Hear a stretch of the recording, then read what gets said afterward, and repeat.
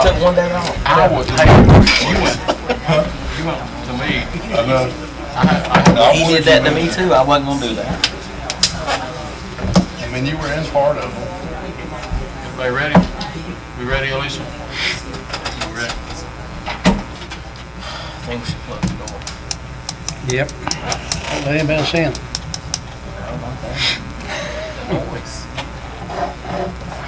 Some people up here can't hear very well.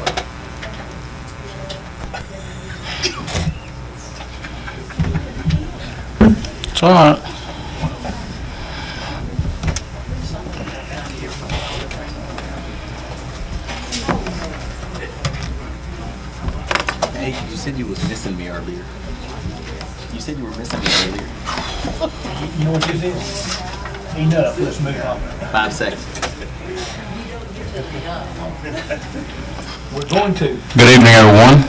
To the September the 5th, 2017 meeting of mayor and council. I'll call this meeting to order. We'll have our invocation by Councilman Danny Carter, followed by our pledge of allegiance. Please stand. May bow our heads. The most gracious Heavenly Father, we come to you tonight asking for your help, your help for those people in Texas, Louisiana, along the Gulf Coast that are trying their best to recover from the hurricane. Help them as best you can when you can. We ask your help tonight at this meeting. Lead, guide, and direct us as we make decisions for the city of Villa Rica and all its citizens. These things we ask in your son's name. Amen.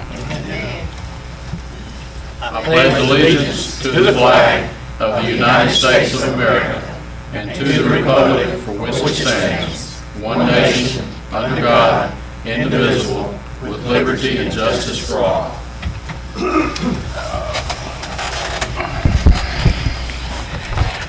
Okay, we have two uh, ceremonial presentations tonight, and uh, the first one, and I don't see him or his family, but uh, the first one is for Jamie Sailors. Uh, Jamie works in our Public Works Department and has for 15 years, and uh, I have worked personally alongside Jamie for for many, many years, and and uh, he has been an asset to this city. A lot of you know don't know this, but when, uh-oh. A lot of you don't, oh, that was neat. How did you do that? Um, When, when we had major events, major snow events, ice events, Jamie was one of the ones that always answered the bell and was out there working sometimes 22 hours a day on, on getting our roads and streets and uh, everything back in shape. So, so he is one of many folks in our Public Works Department who I am very proud of. And uh, just want to congratulate him if he's watching, or his lovely wife, who also teaches with my lovely wife at uh, Providence Elementary School in Temple. Uh, We appreciate all that you do, Jamie. And our second presentation is by our uh, Safety and Risk Management Leadership. It's a Safety and Risk Management Leadership Award presented by our local government risk management service. Uh, And if, I'm going to turn the podium over to him, let him present that award. Does this mic work? So thank you all for allowing me to be here. I'm with, uh, I'm Dan Beck. I'm the director of LGRMS. I represent GMA, Georgia Municipal Association, and their insurance program. So they sell workers' compensation, property and liability, and health insurance. And uh, again, you guys are, do great business with us, and we're, uh, thank you for being a partner there. We really are trying to reduce risks within our cities. Uh, as you know, insurance premiums are growing up, and the only way we're going to be able to reduce those on a long-term basis is through reducing risks within our cities. So one of the ways we're attempting to do that is recognizing people that do an outstanding job of safety leadership within an organization. And the person we'd like to recognize tonight is with from the city of Villa Rica. His name is Kevin Carroll, and it says this is what the award says, and hopefully I won't need my glasses. Uh, we believe having a strong risk control culture uh, is the only way uh, to sustain long-term risk reduction. Uh, we are also believers that strong risk control leaders are responsible for building that culture.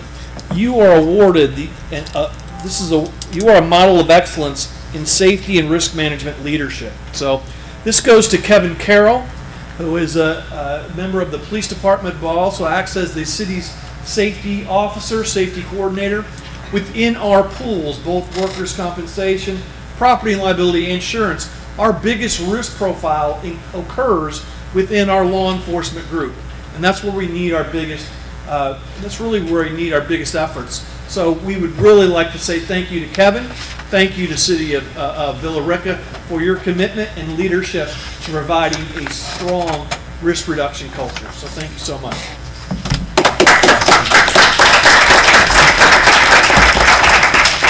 We will make sure,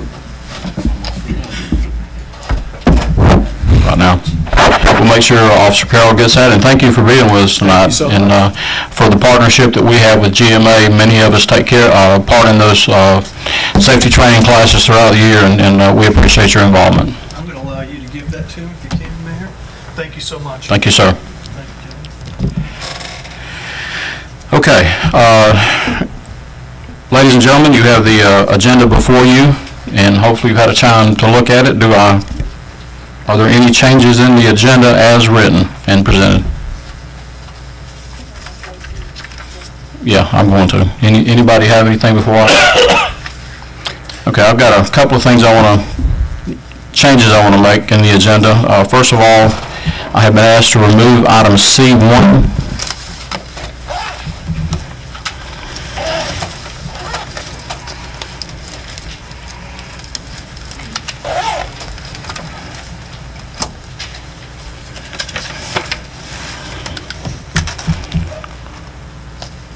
and that is the insurance um, information that we've been working on, and the very thick packet that's in our our agendas, and uh, I have been told that our city attorney wants to look at that a little bit more in depth, so I would ask that be removed from the agenda.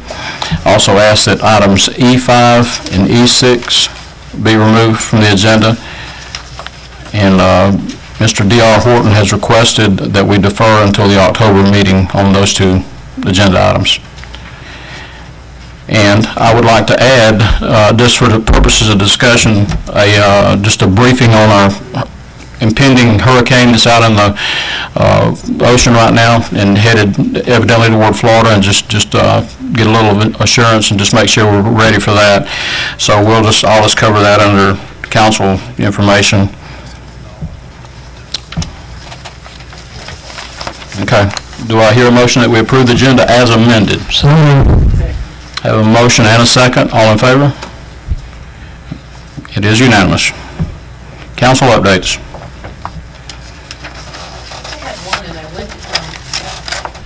I had one, and I meant to bring uh, it with me, but it's pretty much in my head, and it's this. Um, I was just going to share with you real quick something I picked up over at the convention, and it's something that's called a practicum, and it's a way, it's a way that cities can get some expertise help and not spend any money. And the way they do this is there's certain universities that are a part of this cooperative with GMA, the Georgia Municipal Association. And these universities that are in this group, we don't have West Georgia at this point, but West Georgia does help us with interns. And if you need research done, and most of it's done off campus, so it's not even like they need to be here, I mean off campus, but I mean not in our facilities. A lot of times they can work remotely, and uh, they can help us research and do things that we would normally have to pay somebody to do, or maybe our staff doesn't have the time to do. And just wanted to mention that that's something that is available to cities. I hope we'll be able to avail ourselves of it. I have some more information on it at home um, to go over with any city staff. But just thought that was kind of cool and thought I'd share that, that there are ways we can get help from the universities using students that are overseen by professors that work in this area and uh, get some help. So, Thank you, ma'am. I would be remiss if I didn't uh, add that uh, Janet Hyde, this will be her last official meeting with us again. And uh, Janet, we appreciate you coming back and and spending a little time with us. Uh, Janet has accepted a position with Carroll County, and it's more in her wheelhouse of what she's, her her uh, background is. So Janet, thank you for all that you've done for the city this time and the last time, and uh, we wish nothing but the best for you. And I want to, I guess I'll add that, just, I just want to some of this is directed at our city manager, but uh, it appears that we are uh, facing a fairly severe uh, hurricane at some point next week, early next week, and and I just want to make sure that uh, we're ready for that. Ready in the sense that, where's Charlie at? Charlie's like, yeah, I know he's going to call me on me. Plenty of chainsaws, you know, make sure all the vehicles are full of fuel, and because that could be a commodity, and and uh, just make sure we're ready for that. You always have, but, uh, you know, this is, you know, I don't want to be planning when- on Friday when everybody else is trying to gather up chainsaws and all that kind of stuff, so uh, we'll prepare for the worst and pray for the best. So, anything else? Okay, moving along, city manager's report.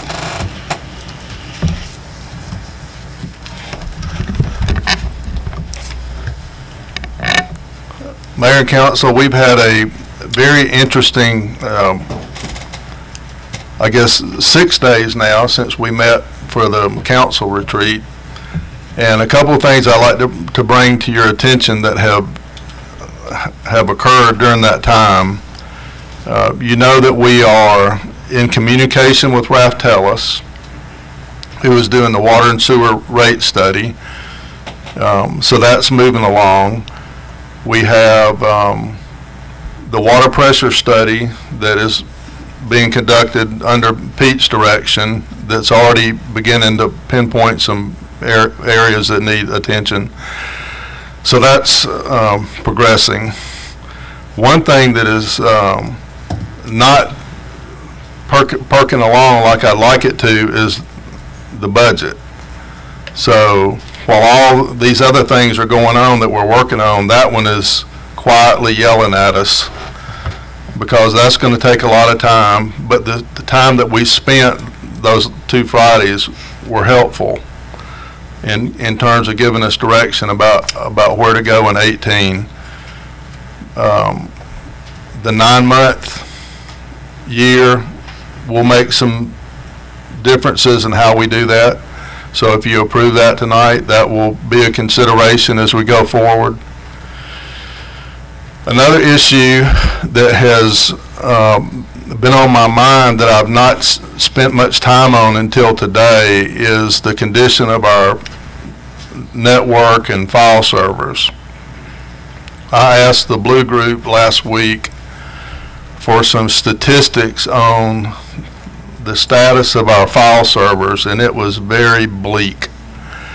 So that is another item that is crucial and screaming silently that could result in significant loss of data that would put us in jeopardy in various ways depending on which server uh, becomes an issue. So we'll be bringing something back for that soon. I've got um, one company taking a look at some off-site storage that would give us a little bit of comfort. But we've got some hardware issues there that we need to address.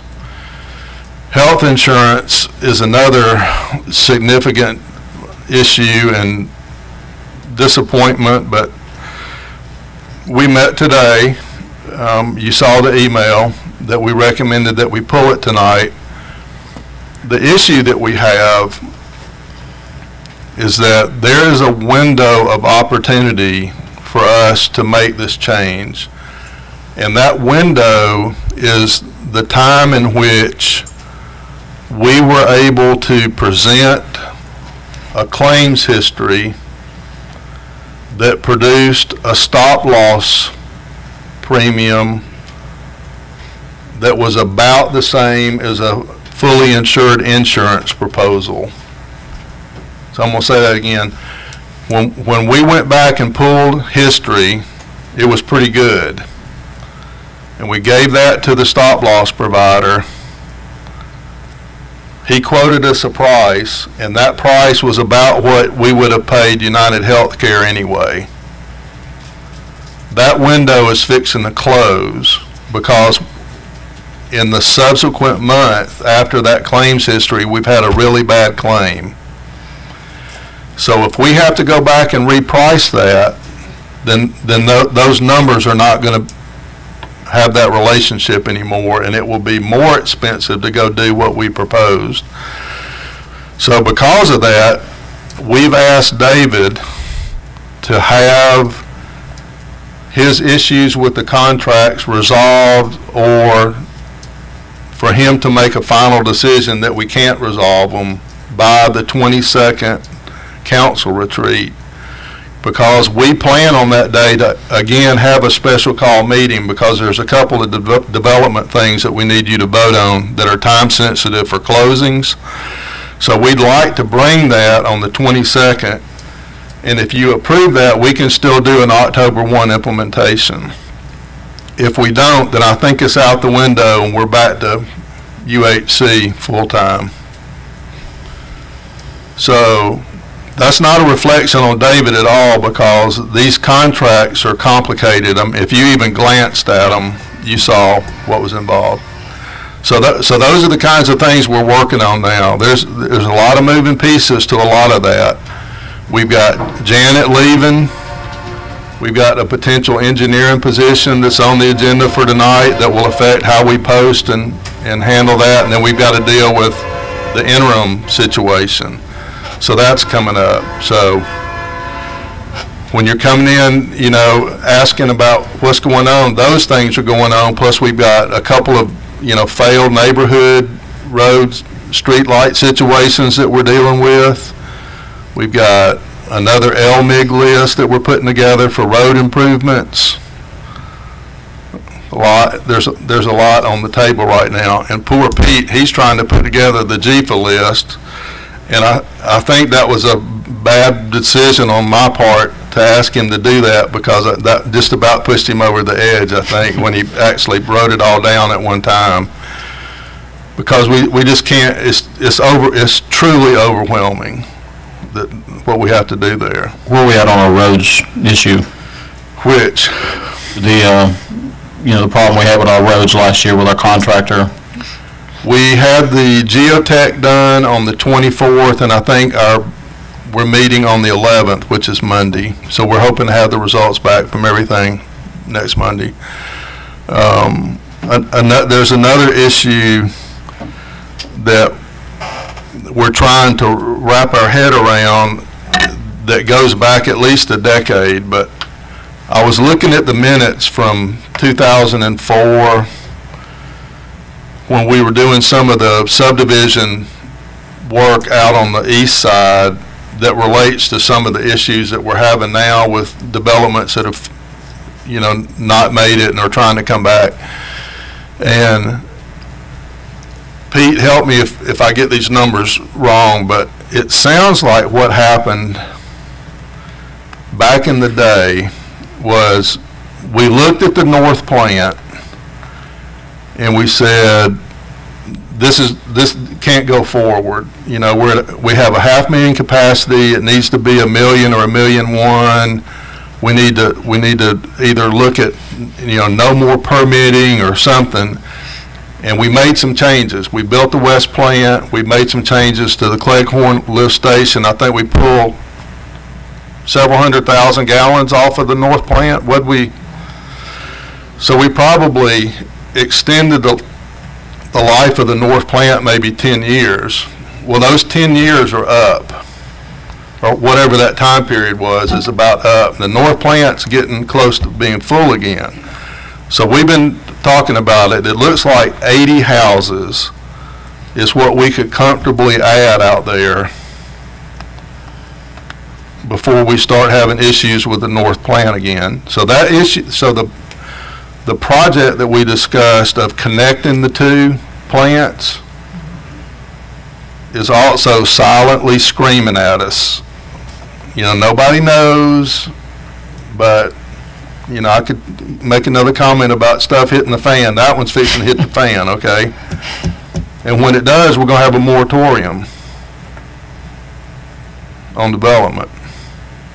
And that's where all the development's gonna be, is on the side where there's the moratorium, because we're not really building residential on the west side. So, we're also working on that. So, What do you do after lunch? that's a, yeah, so that, so those are the, those are the issues that, that we've identified, and what they all have in common is they're, they all have age to them. And, and none of them are visible. You know, they're not, they're not the kind of thing that you can see. It's not a tree that's fallen in the road or a pothole, you know, it's either pipes in the ground that are the wrong size or lift stations that aren't big enough or plants that are, you know, the capacity in the wrong place or whatever. And, So, know, and so we're working on it, but And I, I told Tom this, and I've spoken to, to most of y'all and said this privately, but, um, I've gone from being very sad to very upset to, you know, somewhat, you know, built up a little bit, because I, I feel like we've at late, at least got a handle on where we need to go now. And, uh, we didn't have a roadmap, you know, to speak of in the past, so, so I think, uh, I commend you and staff for, for pulling all that together, uh, so that we do at least know where we are, and it's not in a good place, but at least we have some sort of idea of what it's gonna take to get us there. I still remember that, uh, when this council voted to build the west plant, I thought it was for connectivity of the north plant and that evidently never happened. So, so I asked Tom today, uh, to look at, you know, what the cost is of, of, uh, connecting those two plants, because, it's not a matter of if, it's just a matter of when we're gonna have to make that happen. So, I, I think that's a, one of many critical issues that we've got to look at, but perhaps one of the top ones. So, thank you, sir. Any questions of our city manager? Yeah, question. Uh, What was the reason behind us not getting the seven hundred and fifty thousand dollar funds that we, we lost out on? When I talked to, well, when I heard from them on Thursday, they didn't know yet. So, you heard from the engineer. the consulting firm. Just to clarify on that, that's where we had the possibility of getting a $750,000 grant to help us replace some of the water pipes. Um, Quite a few of them are in Ward 3, which is a lot of the older section. That was, that was so disappointing to get that email, Well, that we didn't get it, but It also leaves Pool Road uh, without fire protection, so, uh, CDBG, I don't know what that stands for, but I would like to know. Yeah, we'll, we'll bring whatever information we get from them. Okay. And I've got one more thing I want to bring up, and this is just uh, for for the audience and those watching us at home, but also for the council. Uh, I've spoken to a couple of you, and I talked to Tom about it today. Uh, We have asked an awful lot of our residents this year uh, that senior tax exemption hurt our seniors, uh, and then uh, with the impending raise in our water rates, it's going to hit our, everybody that lives in the city. And uh, I think that we need to uh, show good faith and and a- and an effort to do the same with the city budget. So I have asked Tom to to look at the idea of- of uh, creating a a a special fund where we can put money aside like I do on a rainy day. Uh, Michael's laughing because he had, he smiled because that was an idea that he had had a while back. But, but, you know, in- at my home, when the, uh, when we have something big we have to replace, we start saving money up because we know it's about to go out. Well, I think we're past the point of that right now. But I think it's a, a good, this is a good time for us to, to do that and to tighten our belts and, and, uh, show our, our residents that, that we're gonna come to the table and we're gonna, we're gonna do better too. And, uh, we, we're gonna commit money that we didn't spend. If, if we have money left over in capital projects, for example, uh, and, or if there's a percentage, I know Jay used to have, the mayor's challenge, I think was two percent uh, of each operating budget was cut back. So, uh, at least, you know, again, we'll have a source of funds, we can put money in that, and we're also showing that we're a good steward of, of taxpayers' money and trying to save as well. So, just wanted to make that, that comment. Any other comments? Okay. We will move on to the consent agenda. All right, public comment section. Oh, I'm sorry. What do I always forget? Every month I forget that. Every time. Need it in bold or something. We have reached the public comment section of our meeting. Uh, Anyone wishing to, to give public comments, please come forward, state your name and address for the record, and please limit your uh, remarks to three minutes. Good evening. Michael Young, 9634 Coastal Point Drive. In the work session, there was a question asked that didn't get a public answer. How much of, how much money should be in the general reserve? The attempted answer we, was focused on water and sewer, but that really wasn't what the question was about. The question is about the overall general reserve for the city, which is $5 million right now. A few years ago, it was 10. So it's half of what it was a few years ago. So how much should we have in there? This question is pertinent because you're looking at a $3 million loan, GFA loan, to fix stuff that we kicked the can down the road on for year after year after year. Last year, we didn't put one single dime into a contingency fund for things that we knew we were going to have a problem. We knew the water sewer was a problem. We knew we would have unexpected expenses. We didn't put a single dime into contin- contingency fund in the- the budget. Now, you may be able to scrape together money that left over from this or that, but there wasn't anything budgeted for unexpected expenses or for these things that we kicked down the road, kicked the can down the road on. And now we've got problems.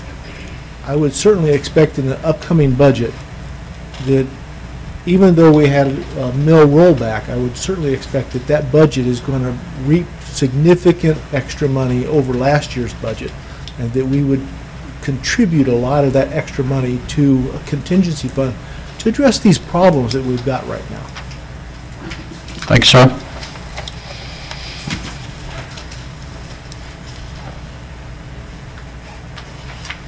Thank you for allowing me to even come. I appreciate it. Uh, I'm from the Old Town Village, and I happened to see it on your agenda tonight that it was there. And, uh, but I just want to bring a few remarks concerning the uh, area in which is eroding.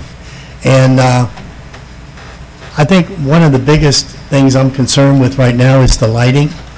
Uh, We are a lot of us in there are, I'm a senior, so I have a fixed income, and it's hard to maintain what you're trying to do and, and to keep up. I'm not new to Villa Rica. I've been here for 18 years, but I've only been there one month. And I bought a home there, and the lights went out. And where I live, which uh, our council lady, Ward 3, uh. Leslie, came out and uh, looked at the property, and and Tom as well. I met them both there. Uh, Our area, at least where I live, and I do represent a few others, but where I live, it is totally black. There is no lighting in that area if we don't have it on. So I made the efforts to go in and start turning on the lights with different people. We've got a total of four lights on, but that's not near the 13 that are there and it's very dark, and it's set out to where uh, it is, it can be scary. Uh, I'm not standing there in fear. Uh, I'm a minister, I love the Lord, I trust Him. But there are others there that I'm concerned about. Uh, Children that are, that are playing there, I'm concerned about. And uh, I'm asking the council today uh, if they would consider burdening that bill, picking that bill up and taking it until uh, uh, either it's me or another, that we can begin to try to come together and form some sort of something. Like I said, I'm new. Nothing's been formed. Roads have been eroding. People have been left. Uh, So that's my, that's my heart, that's their heart, some of the ones I've talked to. So if we need to try to get an HOA together or an adoption of the roads. Uh, One of the things that uh, uh, Mr. Barber said that we were, we were barely, but we are, in the city limits. So we're pleading with you that we can get the lights on. There are those there that obviously cannot turn them on, they're not on. Uh, We've only got a few on. So that's our bird, that's our, where we're coming from, and I don't know how late you all say, I know you're going to bring it up, and I've got a ministerial meeting at 7:30, so I don't know if I'll be there be here for the whole time. So by seven, I'm going to be probably leaving. But I hope I can get in on some of that. Thank you for hearing me. Thank you, sir.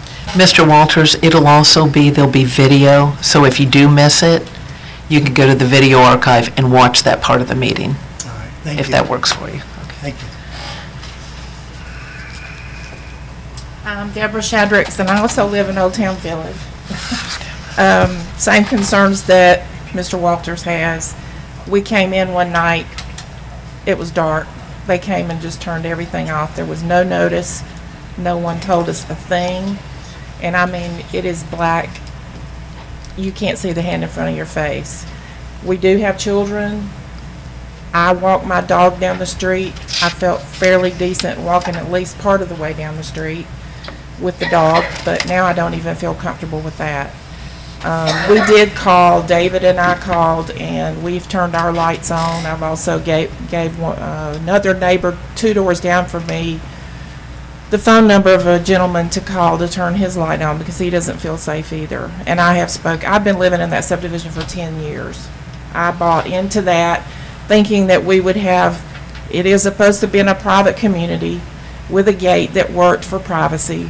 That's the reason I bought in there. I was single at the time. I'm married now, but that doesn't necessarily keep out anything, but I don't feel quite as alone anyway. Um, and the gate has never worked. That's why we all bought into that community to begin with. There's several of us who were original owners.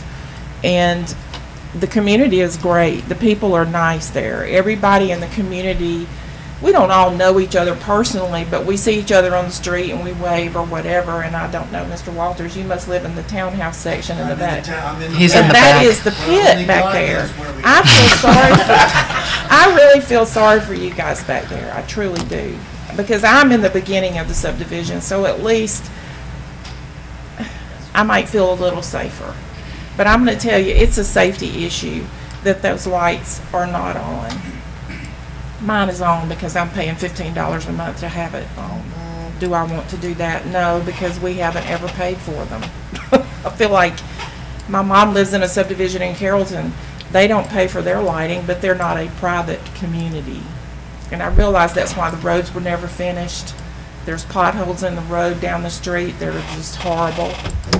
Um, there's coyotes down there. I've gotten to where I don't even want to take the dog down that far. I'm afraid one's going to get at, get after one or both of us.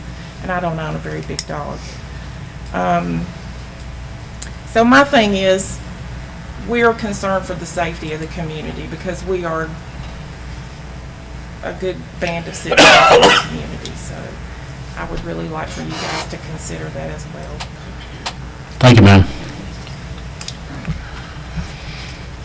Uh, John Mount, 214 Rockmart Road. And I'd like to speak about the enterprise fund. I know you uh, discussed earlier, you have the um, rate study coming up, but I definitely want to see the city pay for the water out of those enterprise funds. It should not come out of the general fund. Um, and I would like to eat out every night. We can't afford it, but we don't ask our neighbors to help pay for that.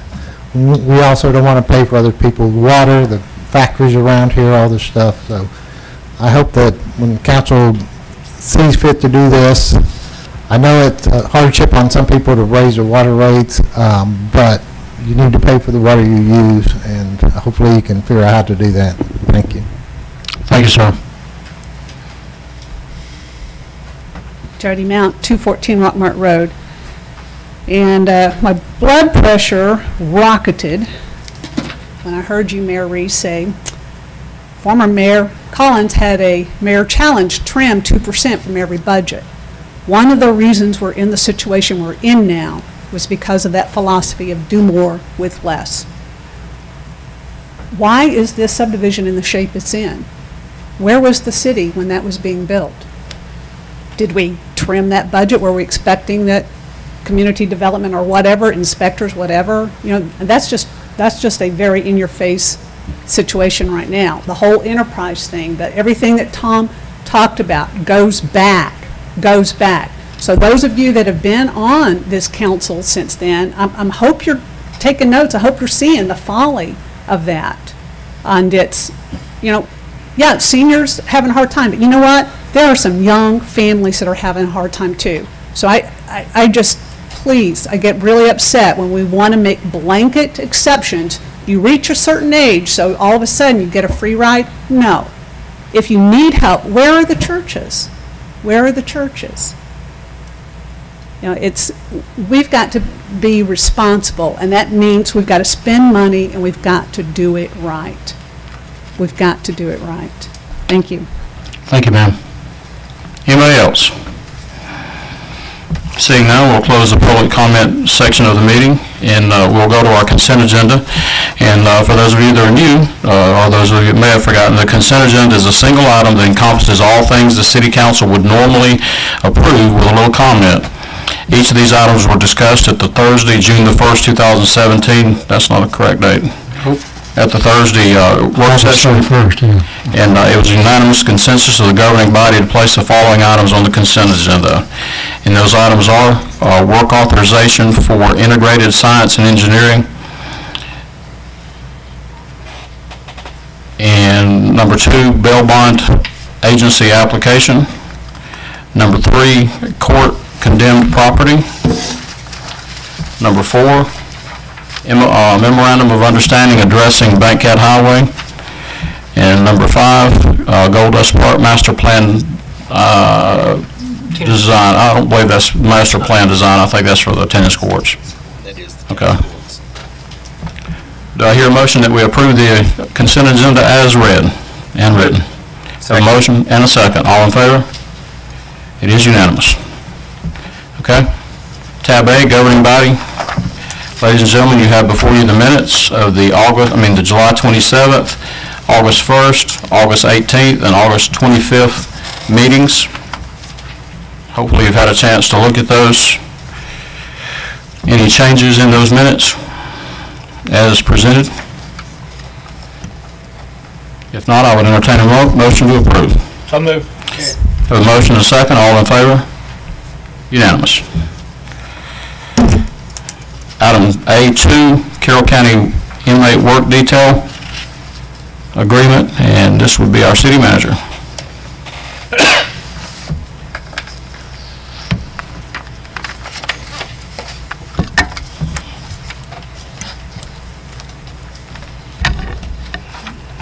as we discussed in work session, we inadvertently failed to approve both of the inmate agreements with Carroll County Sheriff.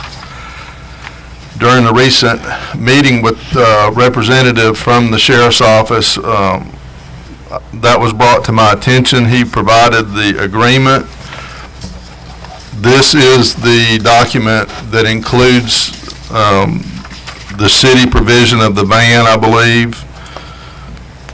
Uh, As we mentioned Thursday night, they want to make the two agreements identical at the next renewal, so this would be the last six-month period where we provide it on one and not on the other.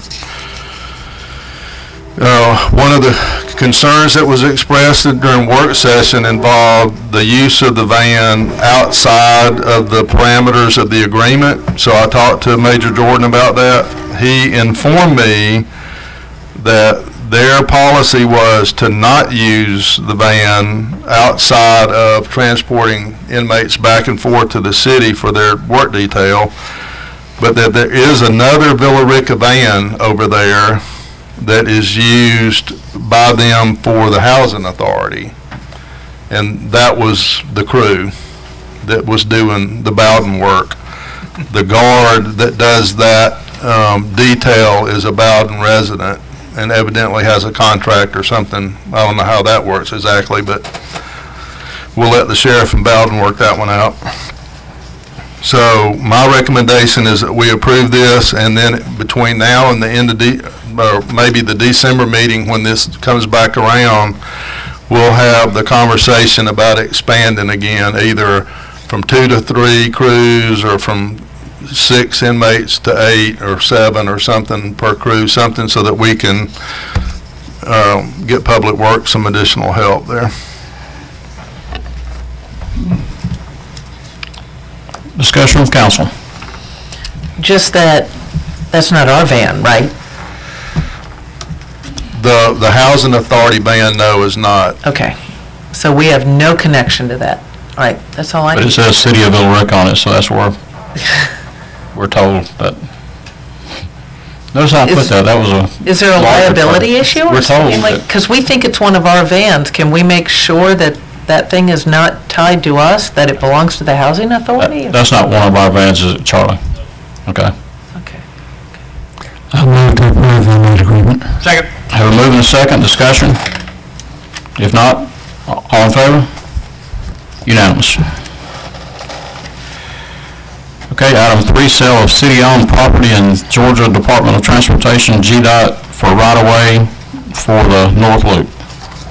This is a recommendation from staff that we sell a small parcel along the, the North Loop for forty-nine thousand dollars to GDOT for right-of-way.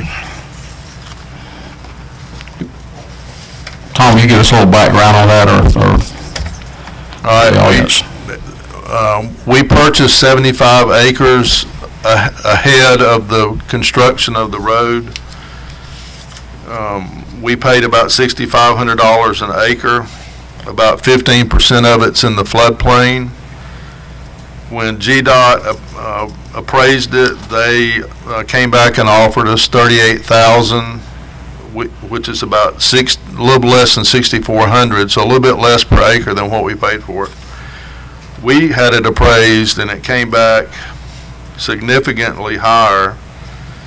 And we made a counter offer, which they rejected. So when we met with them and took a look at the, at the use of the land without the road and the relatively short period of time that we've owned it, uh, the GDOT rep and I agreed that, that forty-nine thousand would put us up over eight thousand an acre, which we felt like was reasonable, given the landlocked nature of the, the property and the fact that apart from the road construction, the land really hadn't seen any change in value. So I'm, I'm comfortable with this. The, um, the, the deal also includes some, uh, some, uh, permanent easement, which was a, almost three acres as well.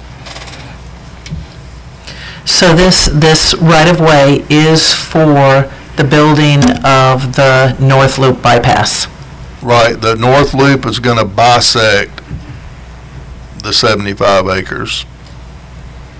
I, I wasn't here from that, so I can't speak to what everybody was thinking at the time, but It also unlandlocks a lot of the property. I mean, once you... Yeah, well, I mean, the, yeah, the best thing is it may, it, it significantly improves both sides of the bisected property. Correct.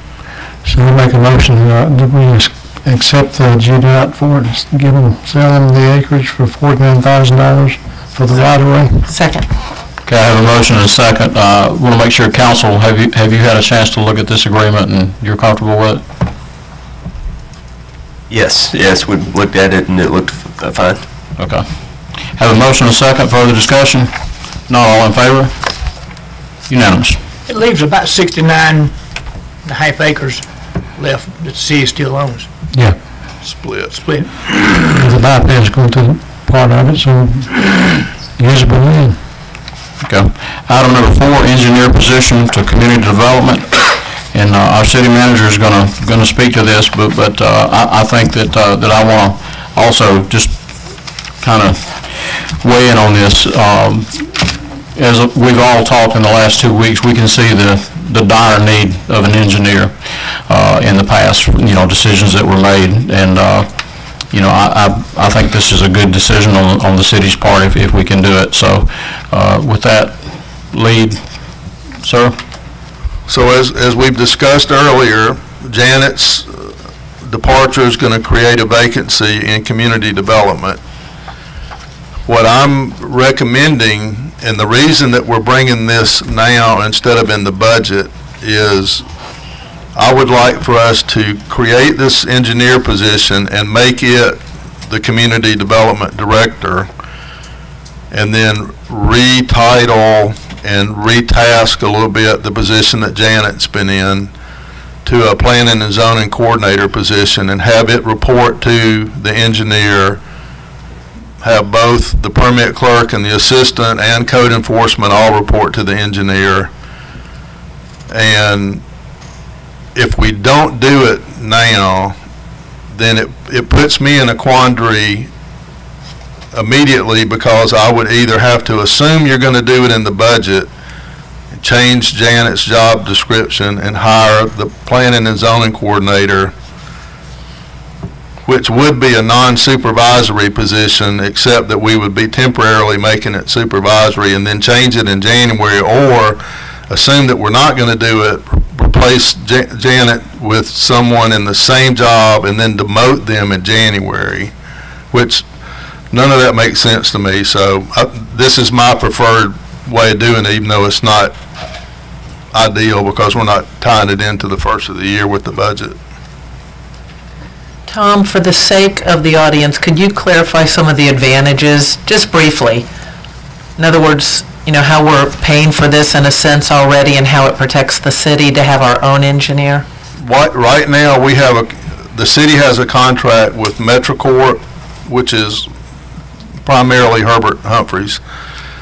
And Herbert is providing us with plan review services amongst other things. He's worked with Charlie on the LMIG project list. He's worked with Pete on water and sewer capacity. We're, we're paying for the services now. It's just we're doing it on a much greater hourly rate. And it's not as convenient when, when, uh, when Janet and I wanted to meet with her staff and Herbert, you know, we had to, we had to go through the rigmarole of, well, when's he gonna be here, and when's he available, and, and, you know, if it's a staff position, then somebody's here all the time. But plan review is crucial for us. And one of the things, eh, and just so you know, I, I used MetroCorp in my previous job. And so we did a four million dollar road improvement there for the South Fulton CID. The, our, our city was the, the agent that did that. So we designed this, we designed the RFP and bid it and awarded it and inspected it and paid it and, you know, just got reimbursed for everything. And, and Herbert's organization provided a full-time inspector for maybe eight months, which was insanely expensive. But we got a first-class industrial road out of it. So this is sort of a you get what you pay for kind of situation. We're already, you know, working through one where we didn't have full-time inspection and, and are, you know, not happy with the result. To have somebody in here that can provide that kind of assistance um, going forward would, would make having a staff person even stronger. So if we have a full-time person that can do plan review, and then we still have Herbert in the wings, which is what I would recommend, then when we get into these projects, we can, we can have some, him or somebody out on the street actually watching construction, because what we've learned is, if you're not inspecting it, you're not gonna get what you expect. What you're gonna get is what's in the best interest of the contractor, which is gonna be, from time to time, unacceptable. Ladies and gentlemen, I would entertain a motion. I move to approve the review position as per the proposal of the city manager. Second. I have a motion in multiple seconds. Further discussion? If not, all in favor? Unanimous. Okay. Tab B, Finance, Ms. Sarah. Good evening. Hi, Sarah. Okay. Again, we have the July financial update for you. Um, Starting at the top, general fund, which is your administration, police department, recreation, public works. Um, You can see here, the total cash as of the end of July was almost four and a half million dollars. And um, total unassigned fund balance is $5.2 million. Um, I did pull up the, um, our 28, our 2017 budget book does have a copy of the city's fund balance policy, if you want to refer to that. But our city requires 40% of fund balance in the general fund, um, which calculates to about 4.8 million. So we are over that in the general fund, but um, that's more of a stability fund. So again, um, while we're happy to see that we have at least 40% in there, um, we don't necessarily, you know, there isn't much, much over that 4.8 million for other um, future projects or um, emergencies. Next is major revenue statuses. Um, In this fund, it's mostly taxes, first one being your sales tax. We have received 47% of the budget there. Sales tax runs a month in arrears, so um, the sales tax that we get in January, we will, we will back into this year. Property tax, um, it's just a small amount so far this year, 150,000. We, um, now that the millage has been accepted, um, I heard from both counties and the states accepted their digest, so we are on our way to collecting our property tax for this year. Occupational tax, we are sitting at 92% of the budget uh, with $367,000 received. And permits and inspections, um, we've seen, we we have received triple the budget so far this year at $295,000. It's great.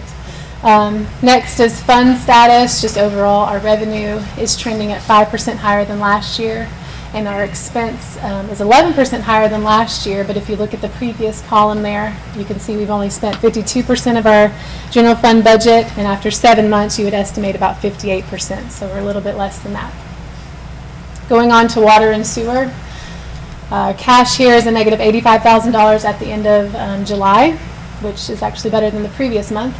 Um, This, again, does not mean we have negative cash in the bank. It means that this fund owes cash to the other funds. We do have a CD in that fund for just over $2 million. $2 million.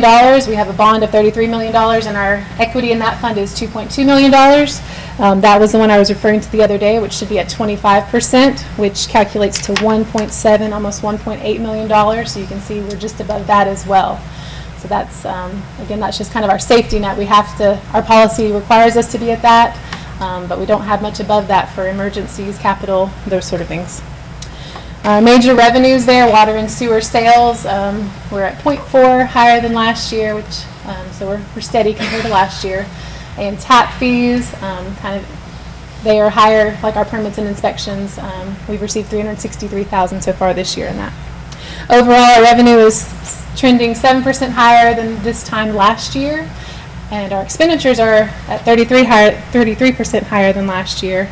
Um, I think part of that, water purchases are over budget. Um, I think, so overall, we've, we've spent 60% when you compare it to the 58% of where we would want to see after seven months.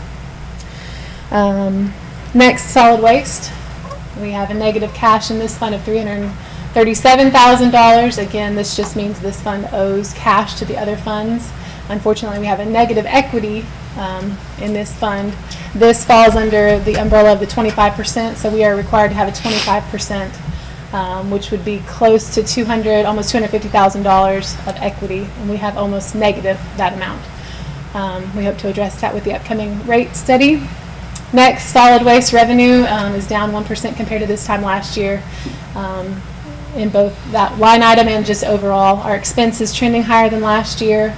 Um, As we've spoken about in the past, um, our our major line item in this budget is our payment to Waste Industries for the the the carts that they, the garbage and the recycle that they collect for us. Um, And their uh, agreement allows for them to increase by CPIU every year. And looks like in this, this summer, it it increased 3.6%. So um, that's part of the reason we're um, above where we, where we want to see. Any questions on that? This is on the website. I put this out every, on the website every month, as well as the check register, so folks can kind of see what we, we are spending money on. This is, this is another case of uh, kicking the can down the road or not, not, uh, so the company that we do business with, Waste Management Industries, has it in the contract with us to go up on the rates every year based on the consumer price index. We don't have that policy. So every year they've gone up, we have not gone up. All right. Any questions of staff? Item two, This is a request to change our fiscal year end. In 2013, the city changed from a May 31st year end to a December 31st year end. I'm requesting that we change from the December 31st year end to a September 30 year end. This will allow um, our budgeting process to line up more with the property tax. Um, And it's not just property tax, the majority of our taxes are received in that fourth quarter or even into the next year. And we have to, um, we- you know, uh, governmental accounting allows me to put it back in that prior year. But as far as budgeting and forecasting, it makes um, the timing a little bit diff- difficult. Any questions on that? So basically what this allows us to do is, is not go blind into our budget. We'll have all- most of the numbers in place so that when we do a budget, we won't have to interpolate or, or try to guess what's, what's coming down the road six months from now.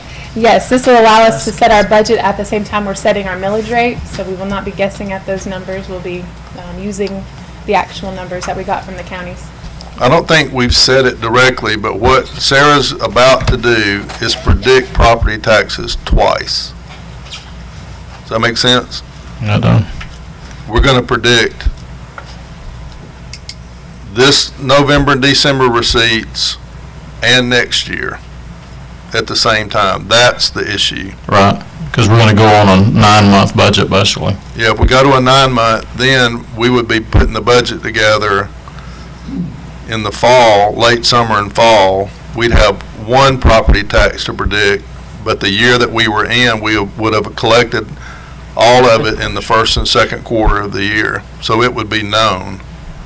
But after that, we should, And then every year, you would only be estimating one of them. right, So basically, what we're doing is changing from the, what we have done in the past, and those people chose to predict one thing, now you're choosing to predict the other.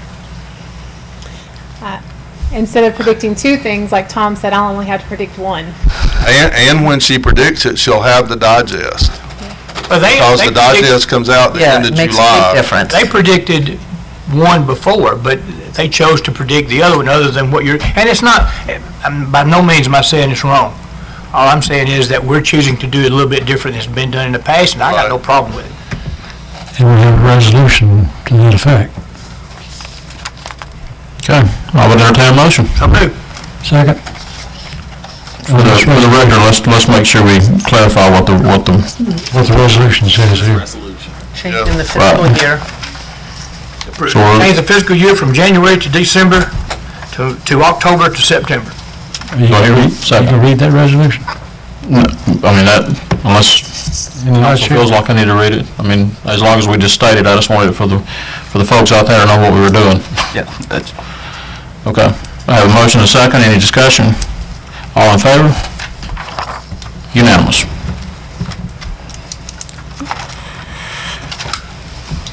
Next is a request to change from monthly billing for our, for our water, sewer, and sanitation to cycle billing.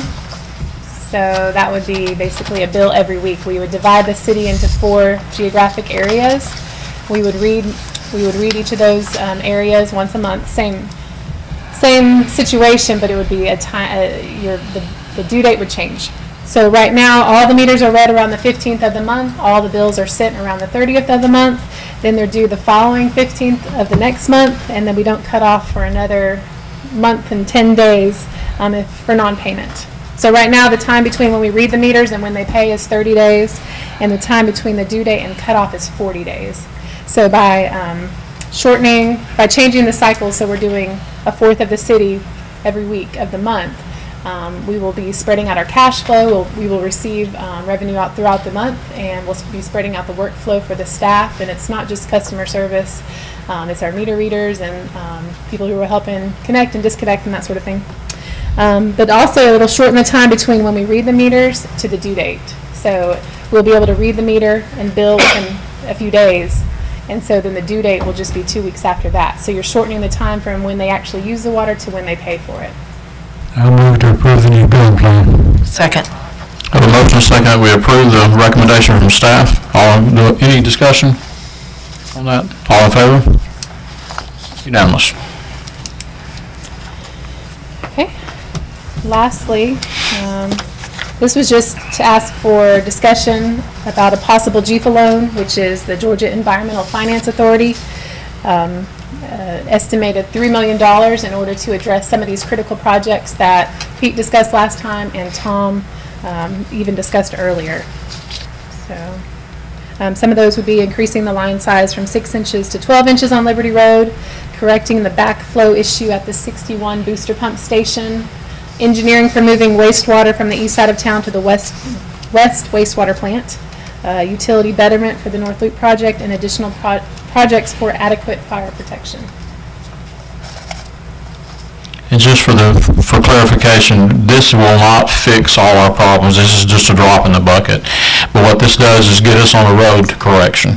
And it is a stopgap measure to correct some of the more critical issues that we have in the city that our city manager alluded to in his comments. And, uh, you know, no, you know, we would, we would prefer not to be in this situation, quite frankly, but we are in this situation, and I think to do anything other than move forward and try to correct the, correct the critical issues would be a mistake, so. Um, this is for discussion only, right? So Tom, help alleviate my only concern in this area, and that has to do with a loan. My understanding is that the, uh, the interest rate is excellent, that's great. But if we had this loan, and I know some of this is almost life and death issues, right? Fire, pressure of water, so, or if we have backups, we get fined, so then it costs us because we get fined because of the backup or overflow and that sort of thing. So I do believe these are critical. So if something happens and the whole economy drops out, and we have this loan, and we have, you know, what we need to pay on our bond, are we ready for that? How will we handle that? Will this, will this put us in any, any more of a situation where we have more debt out there? That, it's debt. I'm just trying to figure out, can we take care of all this? Right, so what, what we're gonna, what we're proposing as a result of the Raftelis study is that we phase the sewer increases over three years. And the reason we rec, we're recommending three years is is because that's when the next bond payment increase goes into effect. So we'll go from a $1.7 million payment to almost 2 million two in 2020. So whatever we do, we need to do over the next three years.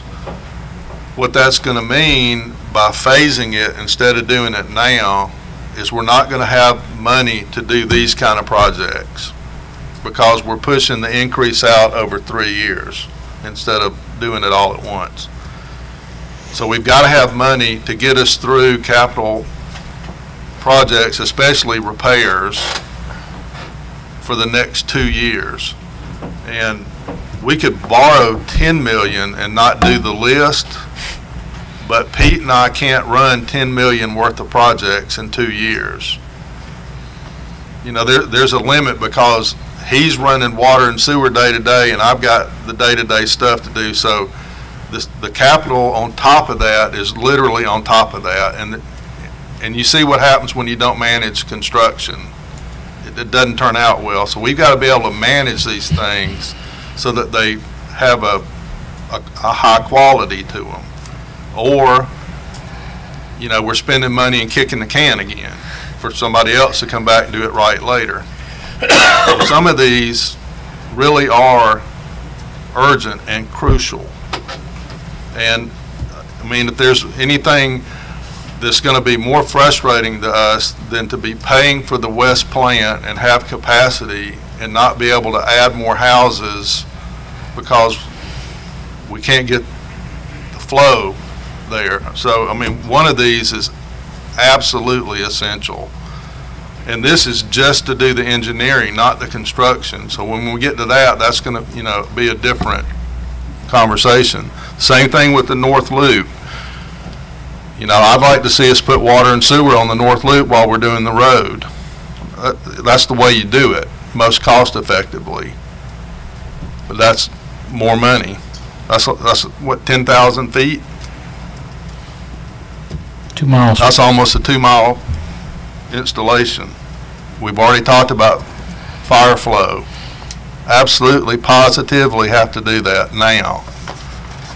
So I think if we just bite off a few of these, that's, you know, that's gonna keep us going for two years pretty hard.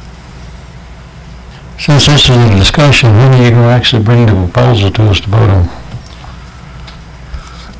I'm not pushing Pete for, for that part of the list, but once he and I have agreed on what's on the list, then we've got to go back and work with people that can estimate all of this. Then we go back and do the funding. The good thing about the funding is the money is always available. There's 550 million, I think, in GEFA money right now, that they're in danger of giving back to the, to the federal government if they don't loan it out. So they're looking for projects. But loaning, borrowing the money is never the problem.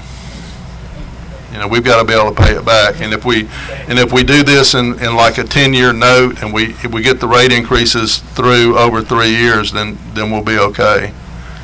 And, and the bigger issue is being able to handle that 2020 bond increase, which is, that's the real bullet, not this. So this calculation that, that has been done, I know this engineering, moving the wastewater from east to west, that's the north plant to the west plant, which is crucial, but that's just the engineering. Um, My question is, has this $3 million been included in the rate study? Does Raftelis have this as part of the rate study? What, what they have is they have what we would like to, to generate every year for water and sewer to do fixes, but by phasing the increases over three years, in the first year, you're not gonna have that money. So this is taking its place. Okay. So, no, but sort of yes in a, in an indirect way, it's, it's a substitute, but not directly. And, we- and, and the three million is a complete swag. I mean, we just, we had to put something down here. We, maybe ten million, maybe two million. I mean, I don't know. Till we get, you know, till we get some hard numbers. Council? Are we really? Go for now. Guess we're sort of Till we waiting get to get a proposal. More information. That- I was just asking, when can we expect that? You just answered that. I don't know, Pete, what do you think? In his free time? We gonna know something in a month?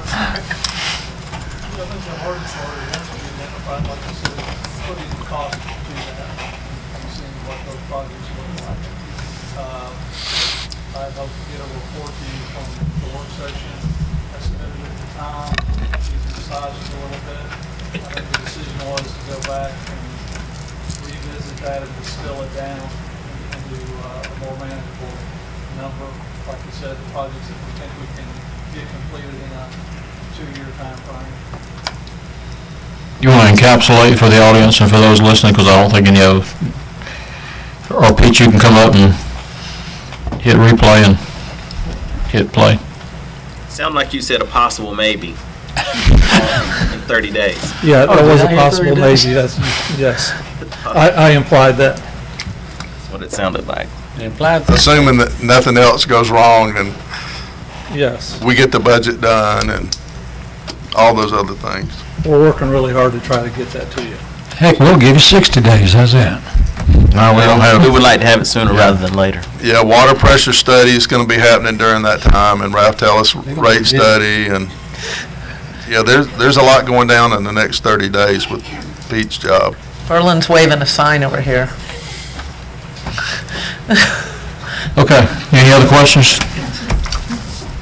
All right, item two is a rezoning request, RA-03-17. Ja- Ms. Janet? Good evening, Mayor and Council. The first item that I have for you tonight is a rezoning RA-03-17. The applicant is Umberto Melendez of 1700 Daniel Road in Villa Rica. He's asking to rezone parcel V0700100015 at 207 Westview Drive in Villa Rica. Um, He's asked, he's requesting rezoning of the property from DT Commercial to DT Commercial Mixed Use um, in order to use the houses on the parcel as residences and then to convert them to businesses later. Um, The proposed use would not necessarily have a negative impact on the usability of adjacent and nearby properties. Planning staff recommended denial of this request. Planning commission recommended approval of this request. Um, The DTCMU does um, match what was in the future land use in the comprehensive plan, but it does not um, coincide with the recent RSVP downtown master plan, which designated those- this property as commercial. And the applicant is present. Okay, at this time, we'd like to hear from the applicant. I see him in the audience, so, sir, if you'd like to come forward and say, make, make any comments, or council may have some questions for you. Could you, could you come up here, please? This what, Elisa, this was, was D2. Where is it now? Because I read all through this. Now I can't find it because the updated agenda. D2? Yeah. Mr. Melendez, would you like to make any comments? It's E2 and. Well, I really don't have any comments uh, right now, you know, uh, try to use uh, these uh, properties, you know, for uh, residential right now, and uh, later on on the future, you know, uh, try to see if you everything doing better on uh, commercial, you know, moving uh, to, uh, for commercial. But uh, right now, my plans are, you know, there's uh, to fix on those houses uh, and uh, get somebody to move in, uh, in. So that's my uh, main concerns right now. Are there any questions for the applicant? Thank you, sir. No, I, I do have a question. Do you intend to use these as rental property, residential rental property? Each of these houses? Yes, sir. Three separate houses? Are they duplexes? I, I'm trying to get a clarification. One of the big house on this like a duplex. Uh, One's a you know, there's like uh, four apartments, small apartments. You know, like a one uh, bedroom, one bath, and uh, the other house. Uh, that's a duplex also. You know, there's a two two apartments, and uh, that one, uh, if I'm right, there's a three. 301 or I can't remember exactly the address. Uh, and uh, 207, you know, there's a one single uh, property. Okay. But all of it for residential? Exactly. Okay. Any question, any more questions for applicant? Well, let me just go a little further. Did you just buy this property? When did you buy this property? A couple of weeks ago. A couple of weeks ago? Yes. Did you know at that time it was zoned commercial? No. You didn't know the zoning was No. commercial there? That's the reason I buy it, you know, for uh, Okay. residential. Okay, thank you. You're welcome. Okay, I have a staff question that I want to hear from our planning and zoning board members, but it was my understanding that Mr. Melendez did know that it was zone commercial. At the time that I met with him, he had not closed on the property, and he told me that he had not purchased it at that, you know, had not completed the purchase. Um, And I did tell him at that time that it was zone commercial. So it's your understanding that prior to the purchase of it, he knew that it was zone com- commercial? Correct. Okay, thank you. Any other questions of staff? So, you, the, the request, the application is to go from commercial to, well, downtown commercial to downtown commercial mixed use, correct? But commercial mixed use, tell us what that generally is meant. Generally, it means that you can use um, the parcel for business or residential use. the parcel. So, my understanding is that that mixed use is actually intended to be a single unit, a single building with, with the mixed use in there, retail on the base, and then above it, housing, or that it would be the same development when a development's put together. Is that correct? Correct, it can be either one. And also for downtown CMU, you can't have single-family residential, correct? That's correct. So even if we grant the application, it still can't be used for the purpose that he stated just a few minutes ago. That is correct technically. Um, The reason, and let me back up a little bit, when Mr. Melendez came to me and asked to do the rezoning, um, he did indicate that he would be amenable to using it as, as commercial later, once he had used it as a resident, as residence, residences for a while. Um, In looking at all the available rezonings possibilities downtown, that you, that zoning met his need the most closely. Um, the density that he's planning to use in that, on that parcel comes to seven point one density units per acre. That's really close to what, um, a condo or a, a loft apartment might be as well.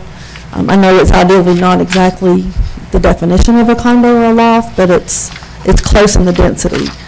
Um, it did not meet, um, the intensity, um, and the scale of the central business district. Um, I knew if, if he asked for, um, single-family residential or even multifamily residential, he would not be able to use those as a business later. And again, the future land use had designated as commercial mixed use. They can't do a second story on those buildings anyway, because they can't be altered, correct? Right, That's correct. Let me understand that a little better.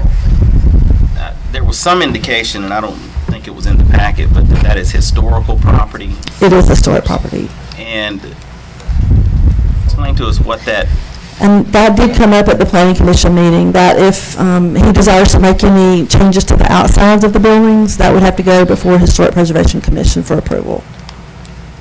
Did I understand him say he's gonna put four, four families in one house? No, there's two families, two units in one house, two units in another house, and one unit in the last house. So that's So total of five, five housing units. Because I'm, I'm like Councilman Marshman, I thought I heard the same thing. And I may have misunderstood.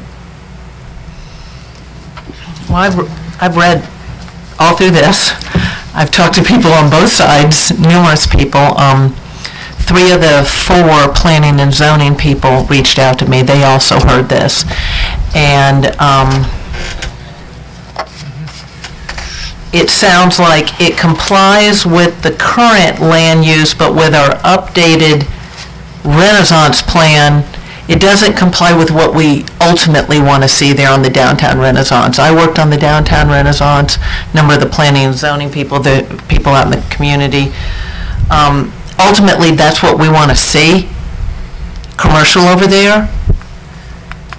But if you also believe in free market principles, there's a time where government tries to force something to happen if the market's not there for it. And right now, nobody's beating down our doors to, to do anything with those houses. They are, I'd call them blighted. They've sat there, they're deteriorating. We could wait and hope that somebody comes and does what we prefer that they do and put commercial there. Um, but if Villa Rica's not that hot yet, the demand isn't there, they may sit there for a number of years. We've got somebody who's willing to fix them up, turn them into residential, they aren't on the main street. And if the demand comes in a couple of years and the economy stays good, it'll be more valuable as commercial, and that's when the free market works. Somebody comes in and says, I want that property because that's valuable for commercial because of what's going on in Villa Rica, and I'll pay you this for it. And that's how you get what you want, ultimately. But if we try to sit here and dictate it, I don't know, we may end up with them sitting over there looking like they do now for a long time. Let me- let me just clarify something. I- It does not meet the current zoning. That's Well- why it's coming before. Right, not the current zoning. I think what the The current future land That's right. use map. But you don't even get to that if you deal with the zoning first, which is one of the primary definitions of being a city, is the zoning. I don't take a back seat to anyone when it comes to private property rights. But when you live in a city, or you live in an HOA, you have elected to give up some of those in favor of what the greater community has decided to do. This zoning, even if we change it to CMU, will not fit what he's wanting to do. So then they're going to come back and ask for another exception to even that. I, I don't see how we grant these, these spot zoning requests just in the idea that maybe it'll do something better for it today or, or in the short term.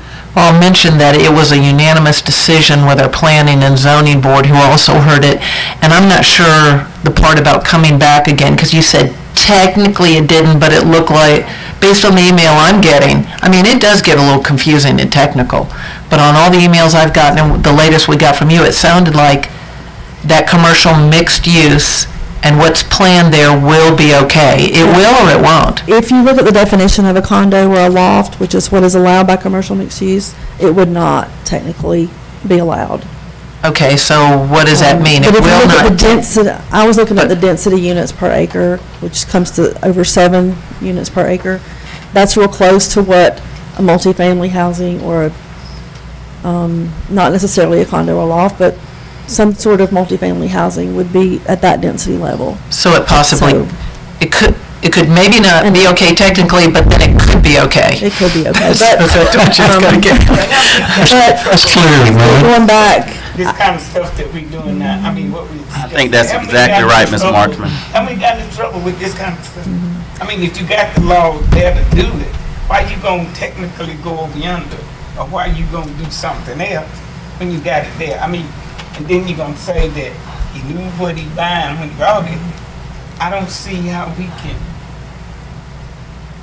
how we can skip around.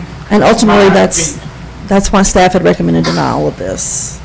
You know, we had staff recommend denial, and we got planning zoning recommending approval, so we. If we don't have any more questions on staff, I would love for the, uh, uh, Mr. Mount ran that meeting, I know- I believe, so I'd love to hear from you, sir.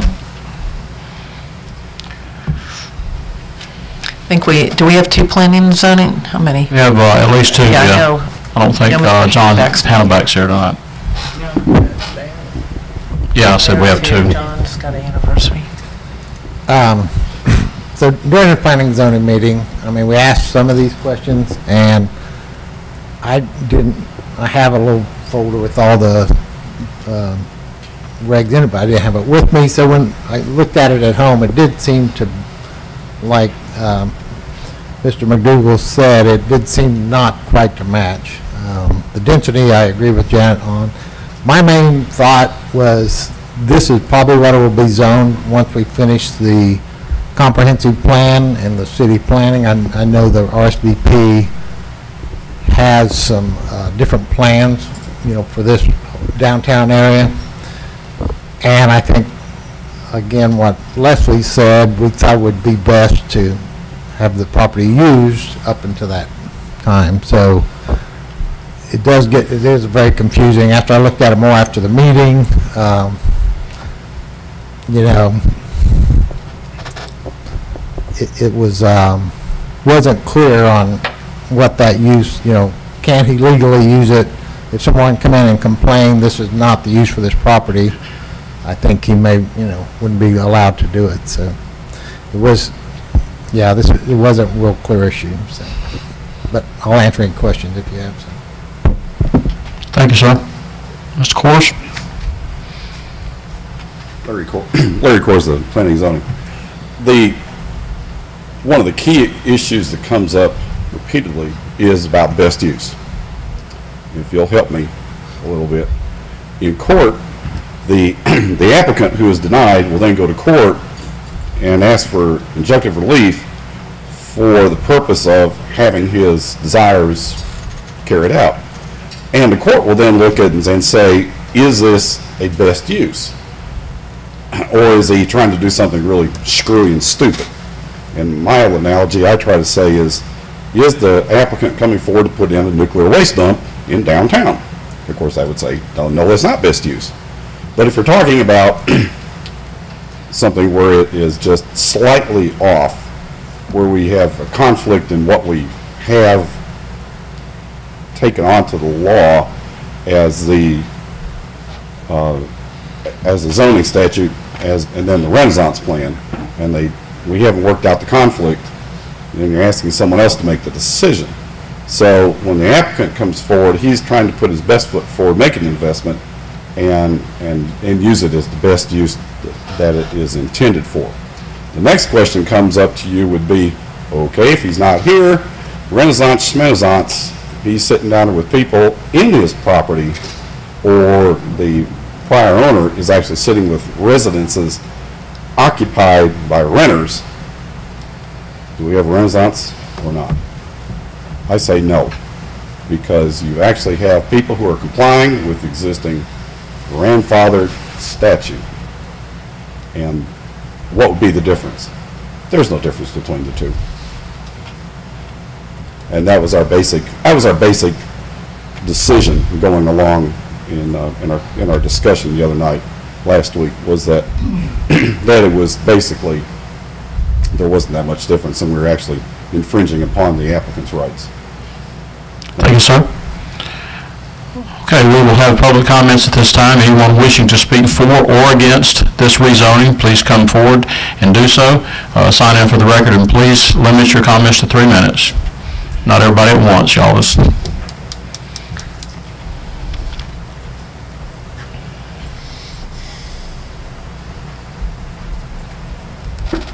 Hello, my name is Mia Feliciano. I'm a, a veteran business owner. I just recently moved in October. I'm for the granting him the, because she said it's technically it's this and based on the way the, the doc, the policy is written. The government has always wrote amendments and wrote technically amendment based on this, technically is that, and because it will eventually look like it's falling apart and make the whole face of that area look horrible. If you're bringing in more money, your revenue, um, bringing in people, you're talking about people who are looking for jobs, you're, you're changing the whole face of that area. That area is really an eyesore, it looks, the way it looks now. And then based on for the next couple of months, it's not gonna get any better. The weather is gonna keep deteriorating, the property, things are just gonna keep, just look horrible, bigger eyesore than it is now, so, that's all I had to say. Thank you, ma'am. Anybody else? Seeing none, we'll revert back to the council. Discussion? I'm a little confused on, uh, we rezone it. I heard that it still couldn't do what it wanted to do with it. I didn't really understand that one. And what's the purpose of rezoning if he can't do what he wants to do with it? Um, he could ask for a variance for, um, single-family residential. However, based on what he's doing, it's not actually single-family residential because he's gonna have more than one housing unit. So that's where the problem comes in our definition. Let me ask you a question, Avery.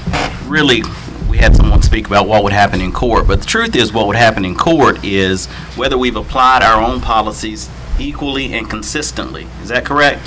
Sure, and he would have to prove that it would be unconstitutional as it's currently zoned as well, so. Before you could get to that, that, the, the- the previous question.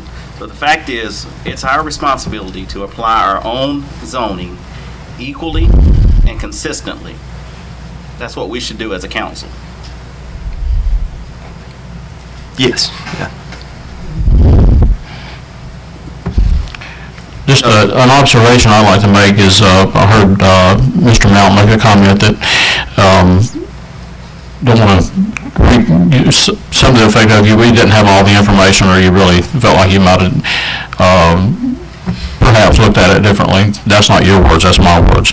But with that said, I want the council to understand that, that you have three options here, as I see it, well, four, but three. You can approve it, tonight, or you can send it back to planning and zoning for further review. So just, you know, just throwing that out for consideration. But the, the point that I want, to, to Councilman Marshman's point, uh, two things. It does not meet zoning now, correct? Correct. That's why you're here, that's why we're here. Uh, and to Councilman Marchman's point, uh, those zonings are in place, and, and I also am, am very aware that, uh, that, that governments don't need to step on private citizens' toes, and, and I'm, but at the same time, uh, I would prefer a high-rise building not be built next to my house. So there's a reason for zonings to be in place. So I just would, uh, that's just my comments. Just mention that those are residential places right now. That's what's been operating there all these years. We are wanting it, we have now zoned it commercial, but they're residential properties that are sitting there. We want to force it to be commercial, but we don't have one buyer standing in line waiting to buy and fix those places up. I haven't heard of one wanting to fix it up. So what are we going to do? We're allowed to rezone things, commercial mixed use, right? It could be commercial or it could be residential with commercial mixed use, correct? Is some of the complication this have to do with the fact of old communities and just the change that comes from being an old town and things being grandfathered in, just like old pipes in the ground, is trying to catch up? You know what I'm saying? I think some of the complication comes from the definition of commercial mixed use and what type of residential is allowed there. And he can't, can't build up, so can't meet it that way because we're not allowed to alter those buildings because of historic preservation. So they can't be altered and go up and have a two-story with a business downtown and house upstairs. Okay? Other discussion? Yeah, I- I've got a question. In one of the emails, it mentioned that the houses cannot be torn down ever? They could be torn down with historic preservation approval. And the downtown renaissance discouraged any more tear downs. That was Right, part of and the plan. If, if you were to rezone, and if you were to grant a variance for residential, what's the parking requirement For residential, um, for to- se for six, or five units or whatever? for five units, it would be about 12 spaces. Is that on the site also? He does have parking, um, there's a little piece of the parcel, I don't know if you have a picture of it, over to the left that he's planning on using as, as additional parking. Does it get the 12 spaces? I think he could get the 12 spaces there. Is there a plan that shows that? Not yet. Well, that would come back with a variance request. So, so my concern is twofold. One, the no tear down boxes us in. I'm thinking of downtown East Point where I worked, where the MARTA station came in in about 1986 and 120 downtown businesses were displaced that never came back. And for 31 years, their downtown has sat with a almost vacant city block, the biggest block downtown. So I know that if we're not careful, we could have these houses sit vacant for decades. So I'm not telling you to rezone or not rezone or whatever, but practically, and I think the councilwoman is getting to this, is what's the future of these, this parcel? Practically. Because so, because why would a business want to go in there? They don't, but if it gets fixed up and improved, it'll be a lot more attractive when Villa Rica does get hot. And I'm not saying, I, we're getting there, but at this point, the demand is not there for all those buildings. Right, but I, I would argue that the demand at the level of rent that would be required to justify actually fixing them up is not there either. I had that Because Fixing them up is no small task and lots of money. And, and for COs to be issued where you have multiple residents in a house is not insignificant. I had that conversation with the applicant, because that's my concern. We don't want it to look, we want it to be fixed up. We want it to look attractive. I, d- I just, I don't, If I don't that- see how we there's a future for those three properties being nice residential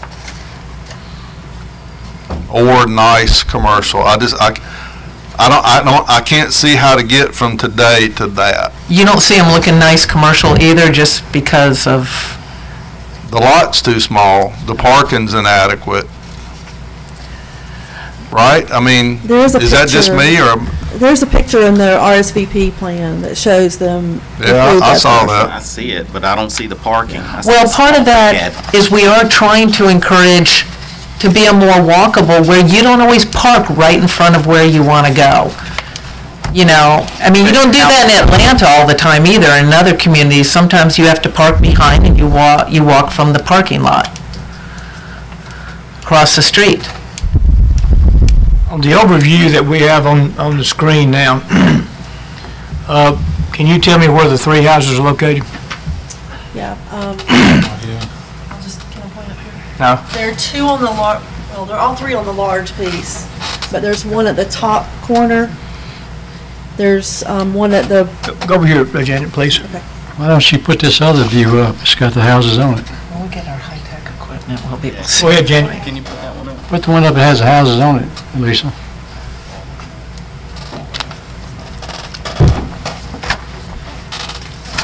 one right there. Okay, There's one right there. Okay. Okay. Thank you. This shows the houses, right? There's a place right here to park, this house.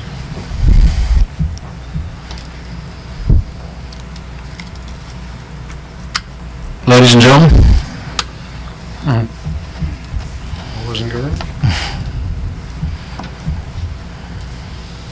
I- I'll I'll be honest with you, I do have a little bit of a concern about the the discrepancy in the numbers, too. If if we're talking about three houses with two families in each, and and we have to have tw- 12 parking spaces, uh, is that part of of this, uh, is the applicant willing to do that? Is he going to build a parking space, or are they just going to, you know, the people that rent, are they just going to park in the the yard, or, I mean, what? The street?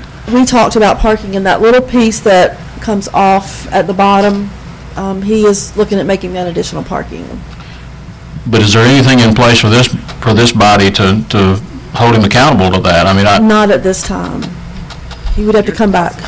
You're not being asked to do that tonight, though. I, I I realize that. I know that's not what we're looking at, but I mean, He can't move forward even if we rezone it with what he's He'd have to wanting to do. He'd have to come back. I think we should take the option of sending it back to planning and zoning off the table because it was a unanimous decision, and last I s- communicated with any of them in the last 24 hours, all of them felt the same way. Okay. would you make that in form of a motion so we can move forward then? Well, no, she said she wanted to take that off the table. Yeah, off the yeah. I want to make. You had said we have these options. I'll make a motion that we deny this rezoning request. I Have a motion to deny the rezoning request. Do I have a second? Second. Motion and second, discussion? If not, call the question. All in favor of the rezoning? I mean, I mean, I'm sorry, my bad. Deny. Den- Deny the rezoning as requested. All in favor of that? One, two, three. All opposed? Did you vote for? Was the first. Okay, so we have four one. The motion to rezone is denied. Okay. Item three, lease of old Head Start property.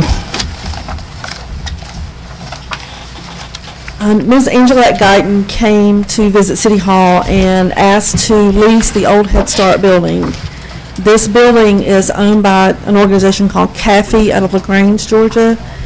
The property the building sits on belongs to the city of Villa Rica. Um, Mr. Mecklin had asked if Mrs. Guyton could come to the city council meeting and do a presentation to the council so that you all would be more aware of what she wants to do with the property. And Mrs. Guyton is present. Okay. Would the applicant come forward, please?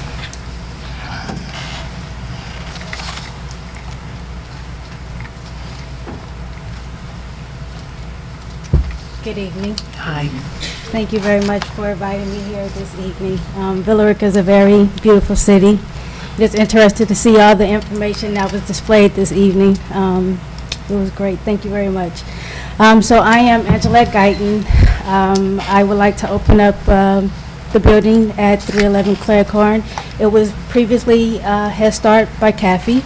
We would like to bring it back as a digital preschool. Um, It will not be a Head Start school. Um, It will be privately owned. We will accept some um, subsidies, um, but it will be private tuition.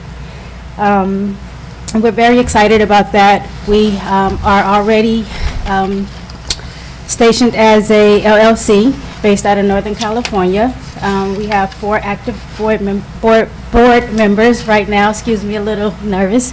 Um, We have a director, which is myself. I have an early childhood development background as well as financial accounting background. Um, I have a secretary who ha- also has education background and administration background, and we have a licensed social worker who works out of DeKalb County.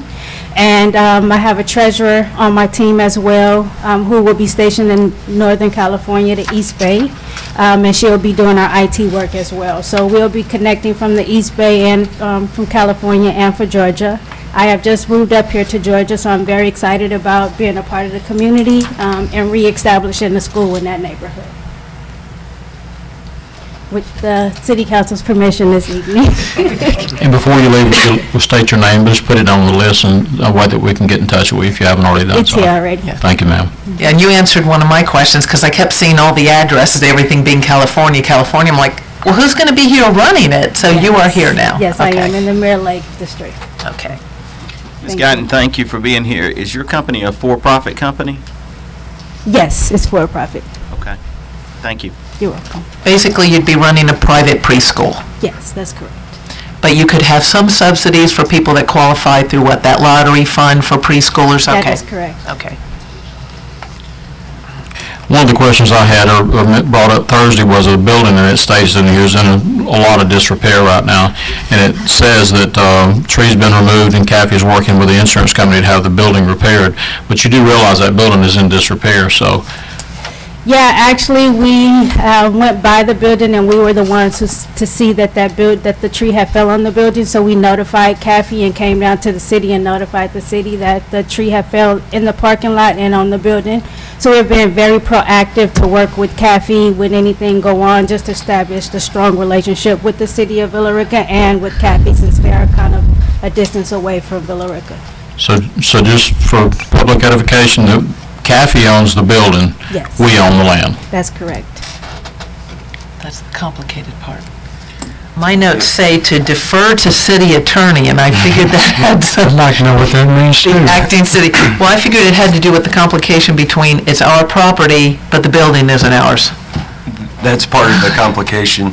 Uh, The other complication is that it also could be, uh, well, the first complication is we don't know, I don't believe we found the current agreement that uh, specifies our relationship with CAFI as to the building and the property concerning the lease terms or maintenance or anything concerning the property. So finding that will be step one. Step two is that although the city can enter into a lease with a nonprofit such as CAFI to uh, provide the same services that the, that the city government could provide as well, then the city can do that, and they can give, they can lease that to CAFI for no rent. But to allow CAFI to then turn around and lease it to a for-profit entity, the city, I don't believe, could do.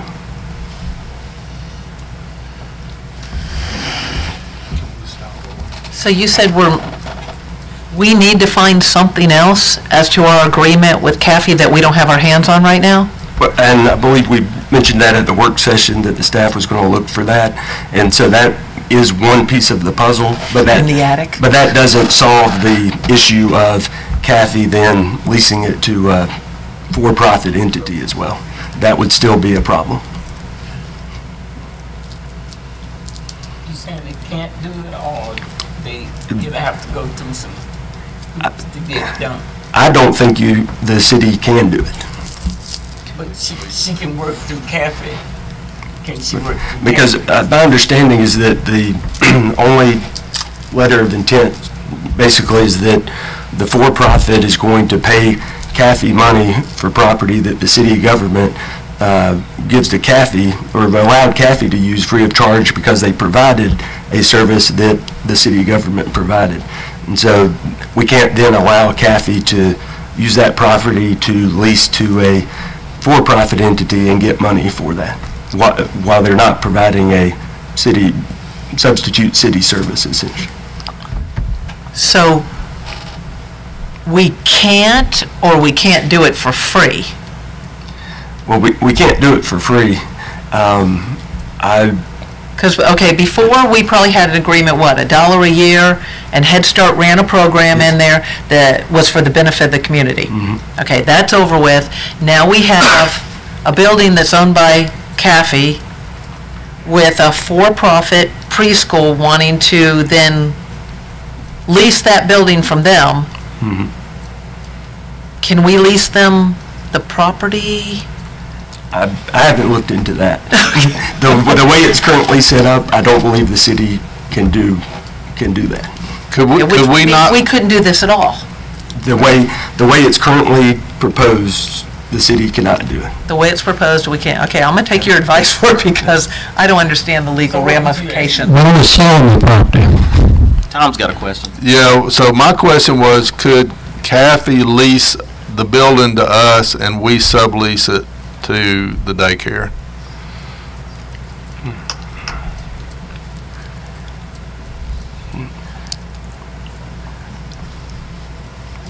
Well, I- and again, I think we need to know what CAFI's, how CAFI's ownership in this, like, what's their lease term for the ground lease? I mean, do we have it leased to them for? Why, why can't we do a new one? We, we could do a new one with them, yes. Um, Because uh, I'm understanding from Elisa that she's looked and she can't find the document. And we could potentially enter into a new ground lease with CAFI. And if that ground lease, it perhaps could be structured a way where it would work. It- The current structure, I don't believe would work. Right, so the, so that, they would lease the ground from us, we would lease the building from them, and then sublease to the daycare. I hope somebody got that. So it sounds to me like this is something we, should we table this? I mean, this doesn't sound like we can take any action on Right. based on what we, If we want to information look we at it have. where it's basically, uh, we're not, we're no longer allowing CAFI to use it for free or for a dollar or something like that, and we're just looking into leasing our Mm-hmm. property and getting money for that, then yes, I'd say let's table it, let's look into whether we can take that step. I think that's a We good need to idea. That's the only thing that seems to make sense. All right, I make a motion. We table this. How long? A month? Mm-hmm, one meeting. To the October meeting? To the October meeting? Yeah, a month would be fine, yeah. Get this figured out? Is that okay with you, Ms. Guyton? I mean, that's about the only option we're going to have tonight. I'll make a motion that we table this to the October Thank meeting. you for coming. Have a motion, in multiple seconds, that we table this to the October meeting. Further discussion? If not, all in favor? It is unanimous. Thank you. And ma'am, we would invite you to come back to the October meeting. And we're not, this is nothing against you, we just have to make sure we're doing it the right way and legal. No problem, I can understand. We apologize for making you come back. That's okay, thank you. Why do you apologize? I wouldn't Would you want to sit through this meeting We don't know twice? until we get. Sure she does. Okay, moving along. We have, um, uh, I've, I've still got item four. I was asked to remove item E5 and 6, but is item four not a part of that? Item four is a separate issue, and um, this is the issue that we brought to the work session. Um, It was a, a development agreement with DR Horton for the Falls subdivision, and we are going to ask if you could table this one as well. Okay. Um, There were some issues that we did not get worked out in time for this meeting. We left it on the agenda, so I'll move to table it to the, uh, what meeting, October? Four, five, and six. She won't be here, but, We took, we struck five and six off. yeah. Okay. So we are, do I hear, I've got a Make a motion. motion that we remove- table item number four, development agreement with D.R. Hor- Horton Homes. All in favor? It is unanimous. Will come back to us at the October meeting. Items five, E, five, and six were uh, removed from the agenda. Uh, Item F, one, this is, it says Connors Road Park Master Plan, but this is for, it is, I'm sorry, I'm sorry. Continue.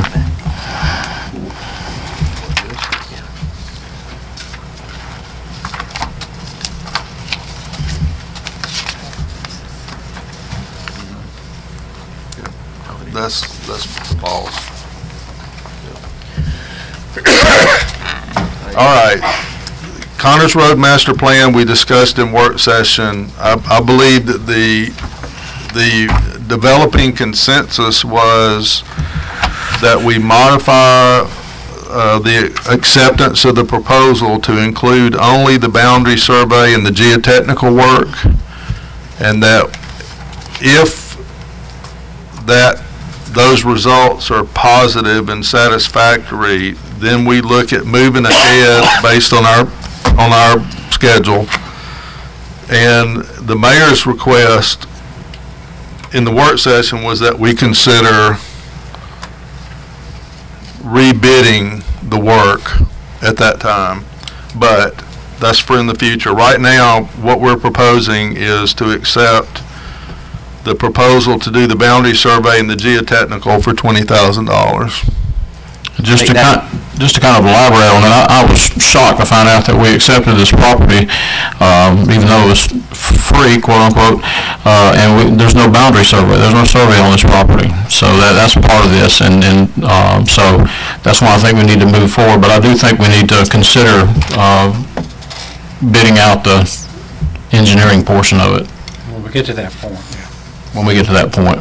So, I want to make a motion that we uh, authorize the boundary survey and the geotechnical survey, uh, $20,000? $20,000, and reserve the, the s- the next step till after we get that. Second. got a motion, a second, discussion? Yes, sir. I'm looking at the detail and I'm seeing twenty thousand five hundred on the next page.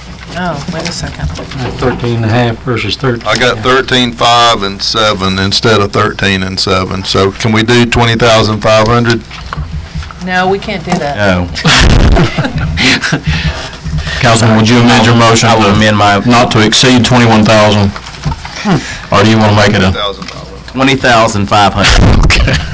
Not one more dollar. Okay. Would you amend your motion?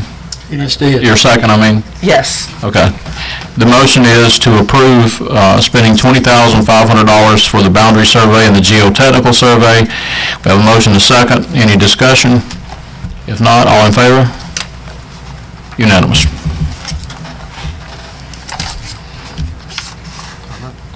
And on cue, the man comes to the front. Front cover of a magazine here not too long ago, GQ, coming right on up. Uh, I didn't know that that was going to be on the cover. That's a surprise. Was nice. But I haven't had any agents calling me for me to quit my day job, so it looks like I'm safe.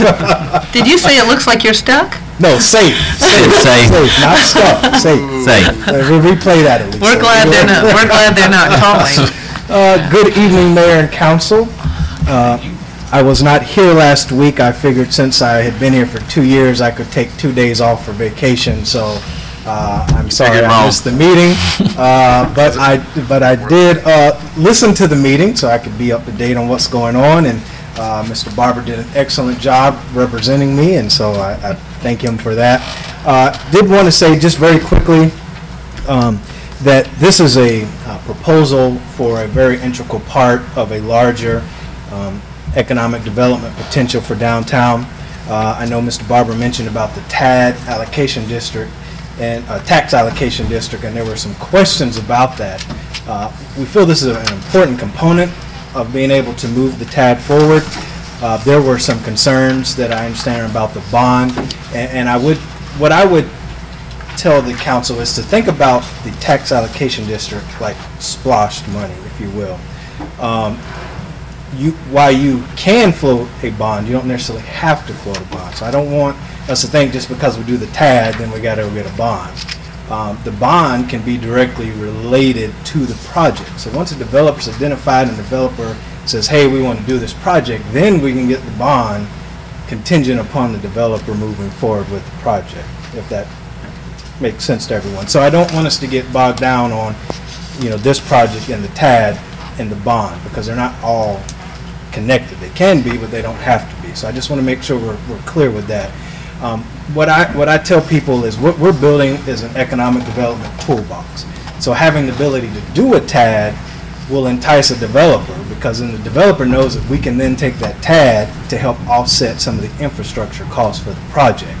So us laying the foundation and the framework for being able to do the TAD helps us better to go out and recruit the, de- the developers to do the projects. And so I, I just want us to, to know that, um, there's things that we're gonna be doing, like the TAD, uh, we, the, um, rural opportunity zone guidelines and application got released last Wednesday.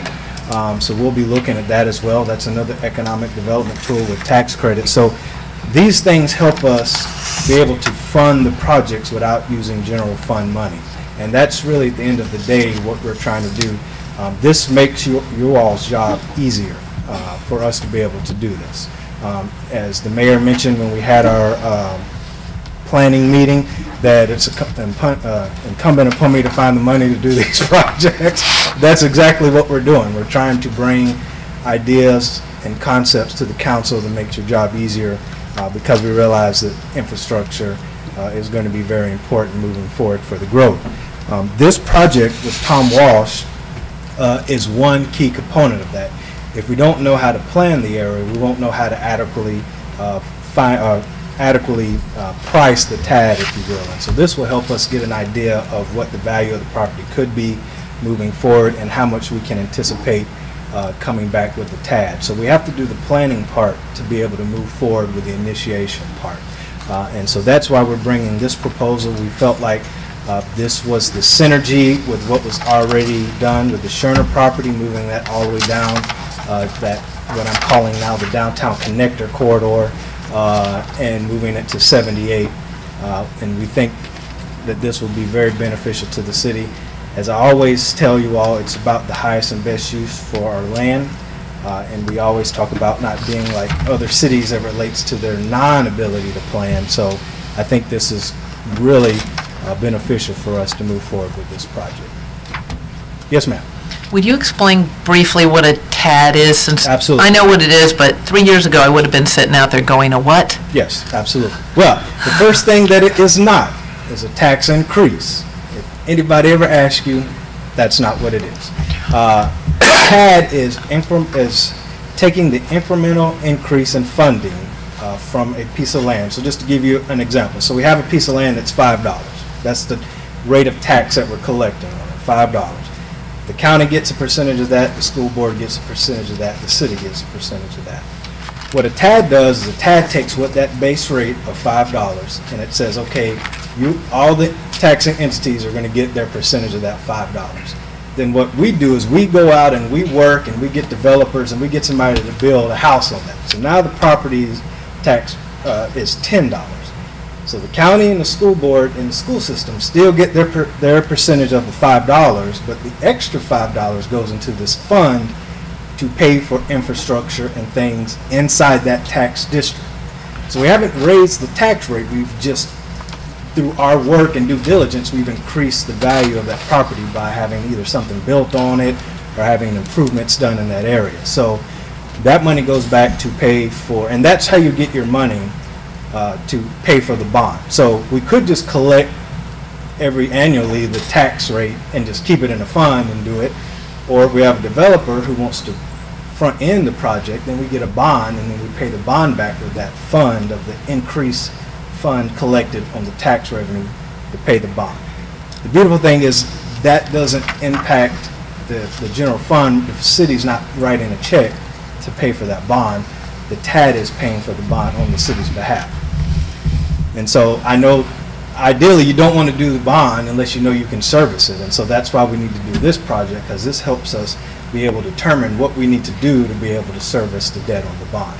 So then I have a question. It said, if we approve this, it's for $11,660.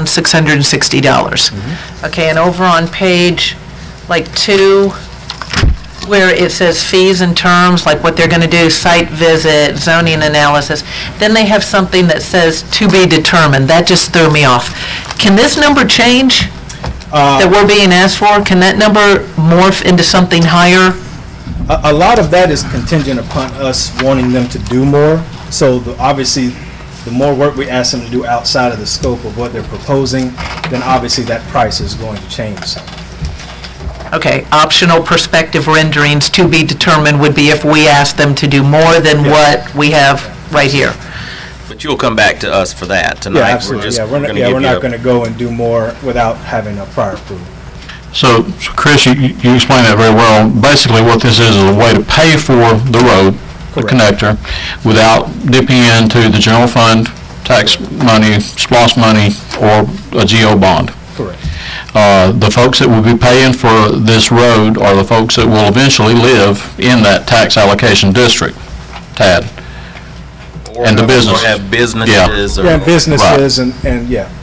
And, and the reality is, you don't really know if you live in the TAD or not, because you're not going to be charged a different Right, tax you're not gonna than tell. anybody else. But The for this- tax rate is going to be the same, it's just when it, when we receive it, how it's divvied when we get the money. But, and the other component of this is that it has to be approved by the state legislature.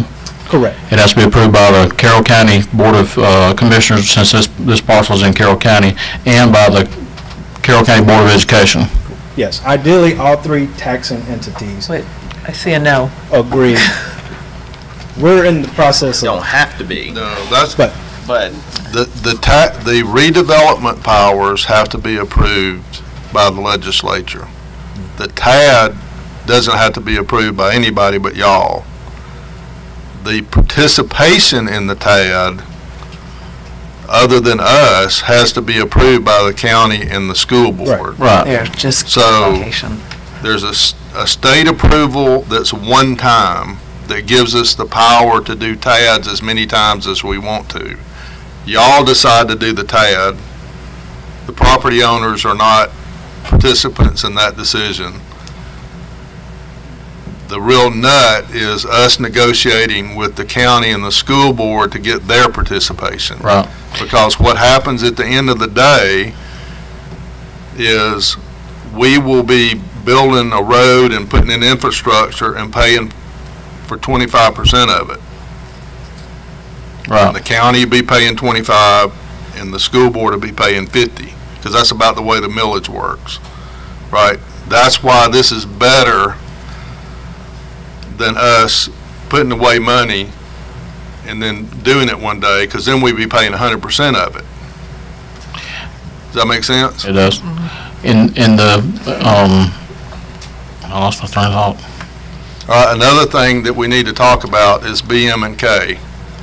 So you guys approved a contract for them to engineer the road, and I have asked them to stop waiting on tonight's decision, because what I would like is for this firm and BM and- K, and Chris and I to work together so that we're master planning the development around the road as we develop the location of the road. Because the road is going to bisect parcels of land potentially and may or may not sit on existing roads and is going to cross roads. And if we're not careful, we may put the road where it's the best top topographically, but the worst developmentally, or vice versa. If, if, if, if Walsh is involved and he's driving it, he mm-hmm. may want the road where it's the best for him developmentally, but the worst for us from an engineering standpoint. You know what I'm saying? So there's some tension here, that- and Chris and I are going to need to facilitate that fight between the engineer and the designer, because their, their objectives are different. BM and K is trying to recommend the best road route and from a construction standpoint, but Walsh is gonna, his mandate is gonna be to maximize the digest value of the adjacent property, right? You see how those are not? Yeah. Those are not mm-hmm. in the mm-hmm. G hall necessarily. So I've asked BM and K to wait until we get this done, and then we're gonna get together. Chris and I'll work with them. And my other point that I forgot, my, what I was gonna say is the key element to this, the reason this is necessary is because we've got to sell what we're gonna, we're not gonna have a TAD if we don't sell the properties, commercial or residential. So this is a planning portion of that, not completely separate from the road, but in, in conjunction with the road. You ready for a motion? Together. Ready for a motion? No, Okay. we may be here at 12 o'clock. Up here come some more questions. All right, two questions. Number one, will these folks determine the property that the TAD will be involved with? Or is that going to be part of the other guys?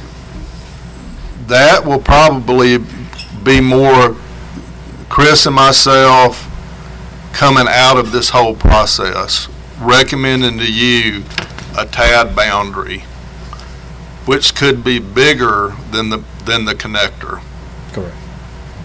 You know, it could, it could jump east, it could go northwest, it could even come down onto other parts of the city that we're not going to talk about, Correct. right? So I mean, it could, it could get bigger than the connector is my point. Then the- the- The other question is, uh, the fees and terms over here that, and it asks for eleven-six on the front of our page, yet it's only uh, ten-six on the, the uh, page two of the handout.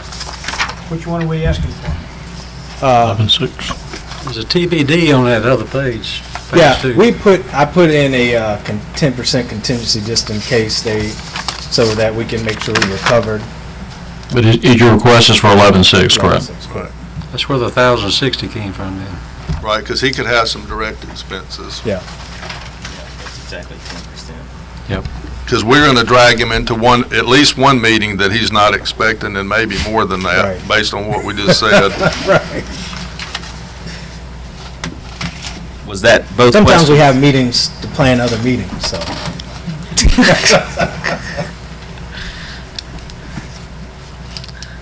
What is your desire? Was that both questions? Councilman Best, do you have any more questions you have? Okay. I make a motion that we approve the Downtown Connector Planning Services for 11660 Second. With TSW, will you amend your, with TSW. okay. Second. Have a motion and a second, discussion? Not all in favor? Unanimous. Thank you. You always keep me guessing, Councilman. We we need to strike H, don't we? That'll come. Good first one. It was a good first one. That'll come. Okay, uh, Get it in piecemeal. I don't know why H is on there. We don't, I'm not either. that was really for the work Yeah, I think session. that was just, okay, that's okay. I I don't need help being confused. It's okay. All right, uh, do we have any executive session items? We have uh, discussion Do items. discussion items. Well, that's what we just talked, that's what we just said. Those are just discussion items at the council, I mean, at the uh, work session, unless you want to bring, well, Well, that's they were up to you. still on. They were still on, They, so they were supposed to be taken off. They were supposed to be Typically, they taken would be off? taken off. Well, can I just mention real quick then? Absolutely. um, Old Town Village, because I know some of the people had to leave. Uh, Y'all all know the gist of it, because you were here in the work session. Um, The bank realized they didn't own anything over there anymore. They're not going to pay Georgia Power anymore, and they, s- Georgia Power went over and shut down all the streetlights. Uh, A lot of the roads and things that weren't finished, this was not, I mean, there could have been a mess up on the city's part with not having a bond, but these communities exist all over Georgia and who knows where else when the housing boom collapsed and builders went defunct. And it wasn't our job to finish the roads, the builders were supposed to finish these things. And we learned the hard way sometime how to make sure we don't get stuck hanging, holding the bag, which we are in some of these cases now. And I, I would just like us, I would like us to get some lights on over there.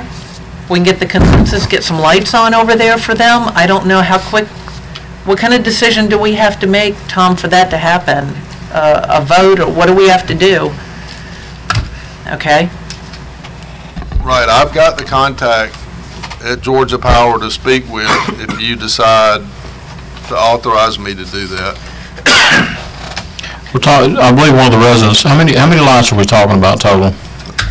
What I heard or wrote down, I think, was 13 at 15 a month. Okay. So that's at least a ballpark. Is that what you got? Uh, I wrote it down. Let me see It was pretty early. Okay, so it's a, uh, You had three and a quarter. 13 lights, 11 houses and three townhomes out there. But I heard earlier, someone in public comments mentioned that this was a private community intended to be gated. That Yeah, was it case, never The city happened. was never going to own those streets. Originally was gonna be gated. Mm-hmm. And we had a similar situation in 2014, right over here in town, where the city obviously wasn't going to take the road. It was down to near gravel, just like that is over there. And the answer was HOA, get your act together, pay for your own lights and pave your own street. And that's exactly what happened. That one's pretty well built out, isn't it? This one is not, No, this one's less than 50%. I think the intention was, but it doesn't look like it's ever turning into a private. If the city's HOA on the road, never existed, it never got that far along. but if the city is never going to own the road, often we do intend to take the road, but we won't in a private community where they're going to put up a gate. So I That's think we not need more correct, but go information ahead. on this. So now that it's failed, will we? I think the city manager stated it correctly, that there's, it's ugly either way. This doesn't look pretty if we have to take it all on and try to take care of it. But what do you do when you've got citizens living in the city, paying city taxes, and it, with the light situa, the road is a pain in the neck, and there's big, you know, holes, but it's not a safety issue. You've got kids now, they're walking in the dark, whatever, you know. We've got a security, safety issue out there. There's already been, there's some concern about break-ins and things that have gotten taken, and people are trying to leave as many lights on as they can. Um, I think it's real minimal cost with the lighting. Is it fifteen dollars a month for the light, each light? That's uh, 195 a month, yeah. 13 lights. Okay. Any, I think I heard the mayor say if we had to go over and unscrew some of them and turn on all the ones in front of people's houses, we'd do it. well, no, the- the- I was gonna have an adopt a light plan, but I think ultimately at that kind of price, for citizens that live in the city, that pay taxes, that's a small amount to- for us to pick up, to keep those lights on. I know we can't do anything about the roads right now. Maybe we can patch them. We'll have to, maybe we can discuss that further down the road. okay, this is something we need, do you, We're going to need some more. Mr. Barber, what would you prefer that we do at this point? What do you need from us? If it's the, the consensus to turn the lights on, then, then you need to just direct me to do it. And we'll get with Georgia Power. and- Technically, this was not a council agenda item, we didn't amend the agenda, I, but we can bring it up at the October meeting. I thought it, it was still on the agenda. But it's for discussion. Discussion item.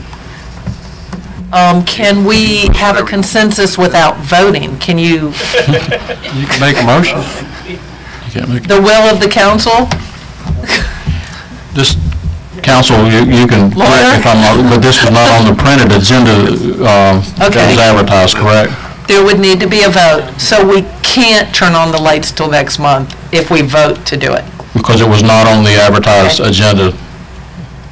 Okay, It was on this piece of paper, but it was not on the agenda. I will remind council, we do have a, ma- a call meeting on the 22nd, is that correct? During the retreat. thank you. Appreciate that. Okay. So you, I, I do agree with what you said, so you will follow up with that and make sure it's brought up, okay? All right, do we have any executive session items? Okay, if not, I would entertain a motion that we adjourn. So moved. Second. Have a motion in multiple seconds. All in favor? We are adjourned. I don't think you voted Councilman Carter, but. I did. Did? Raise Said he was ready to go too. Yeah, see? His hand's up. Wrong hand, huh?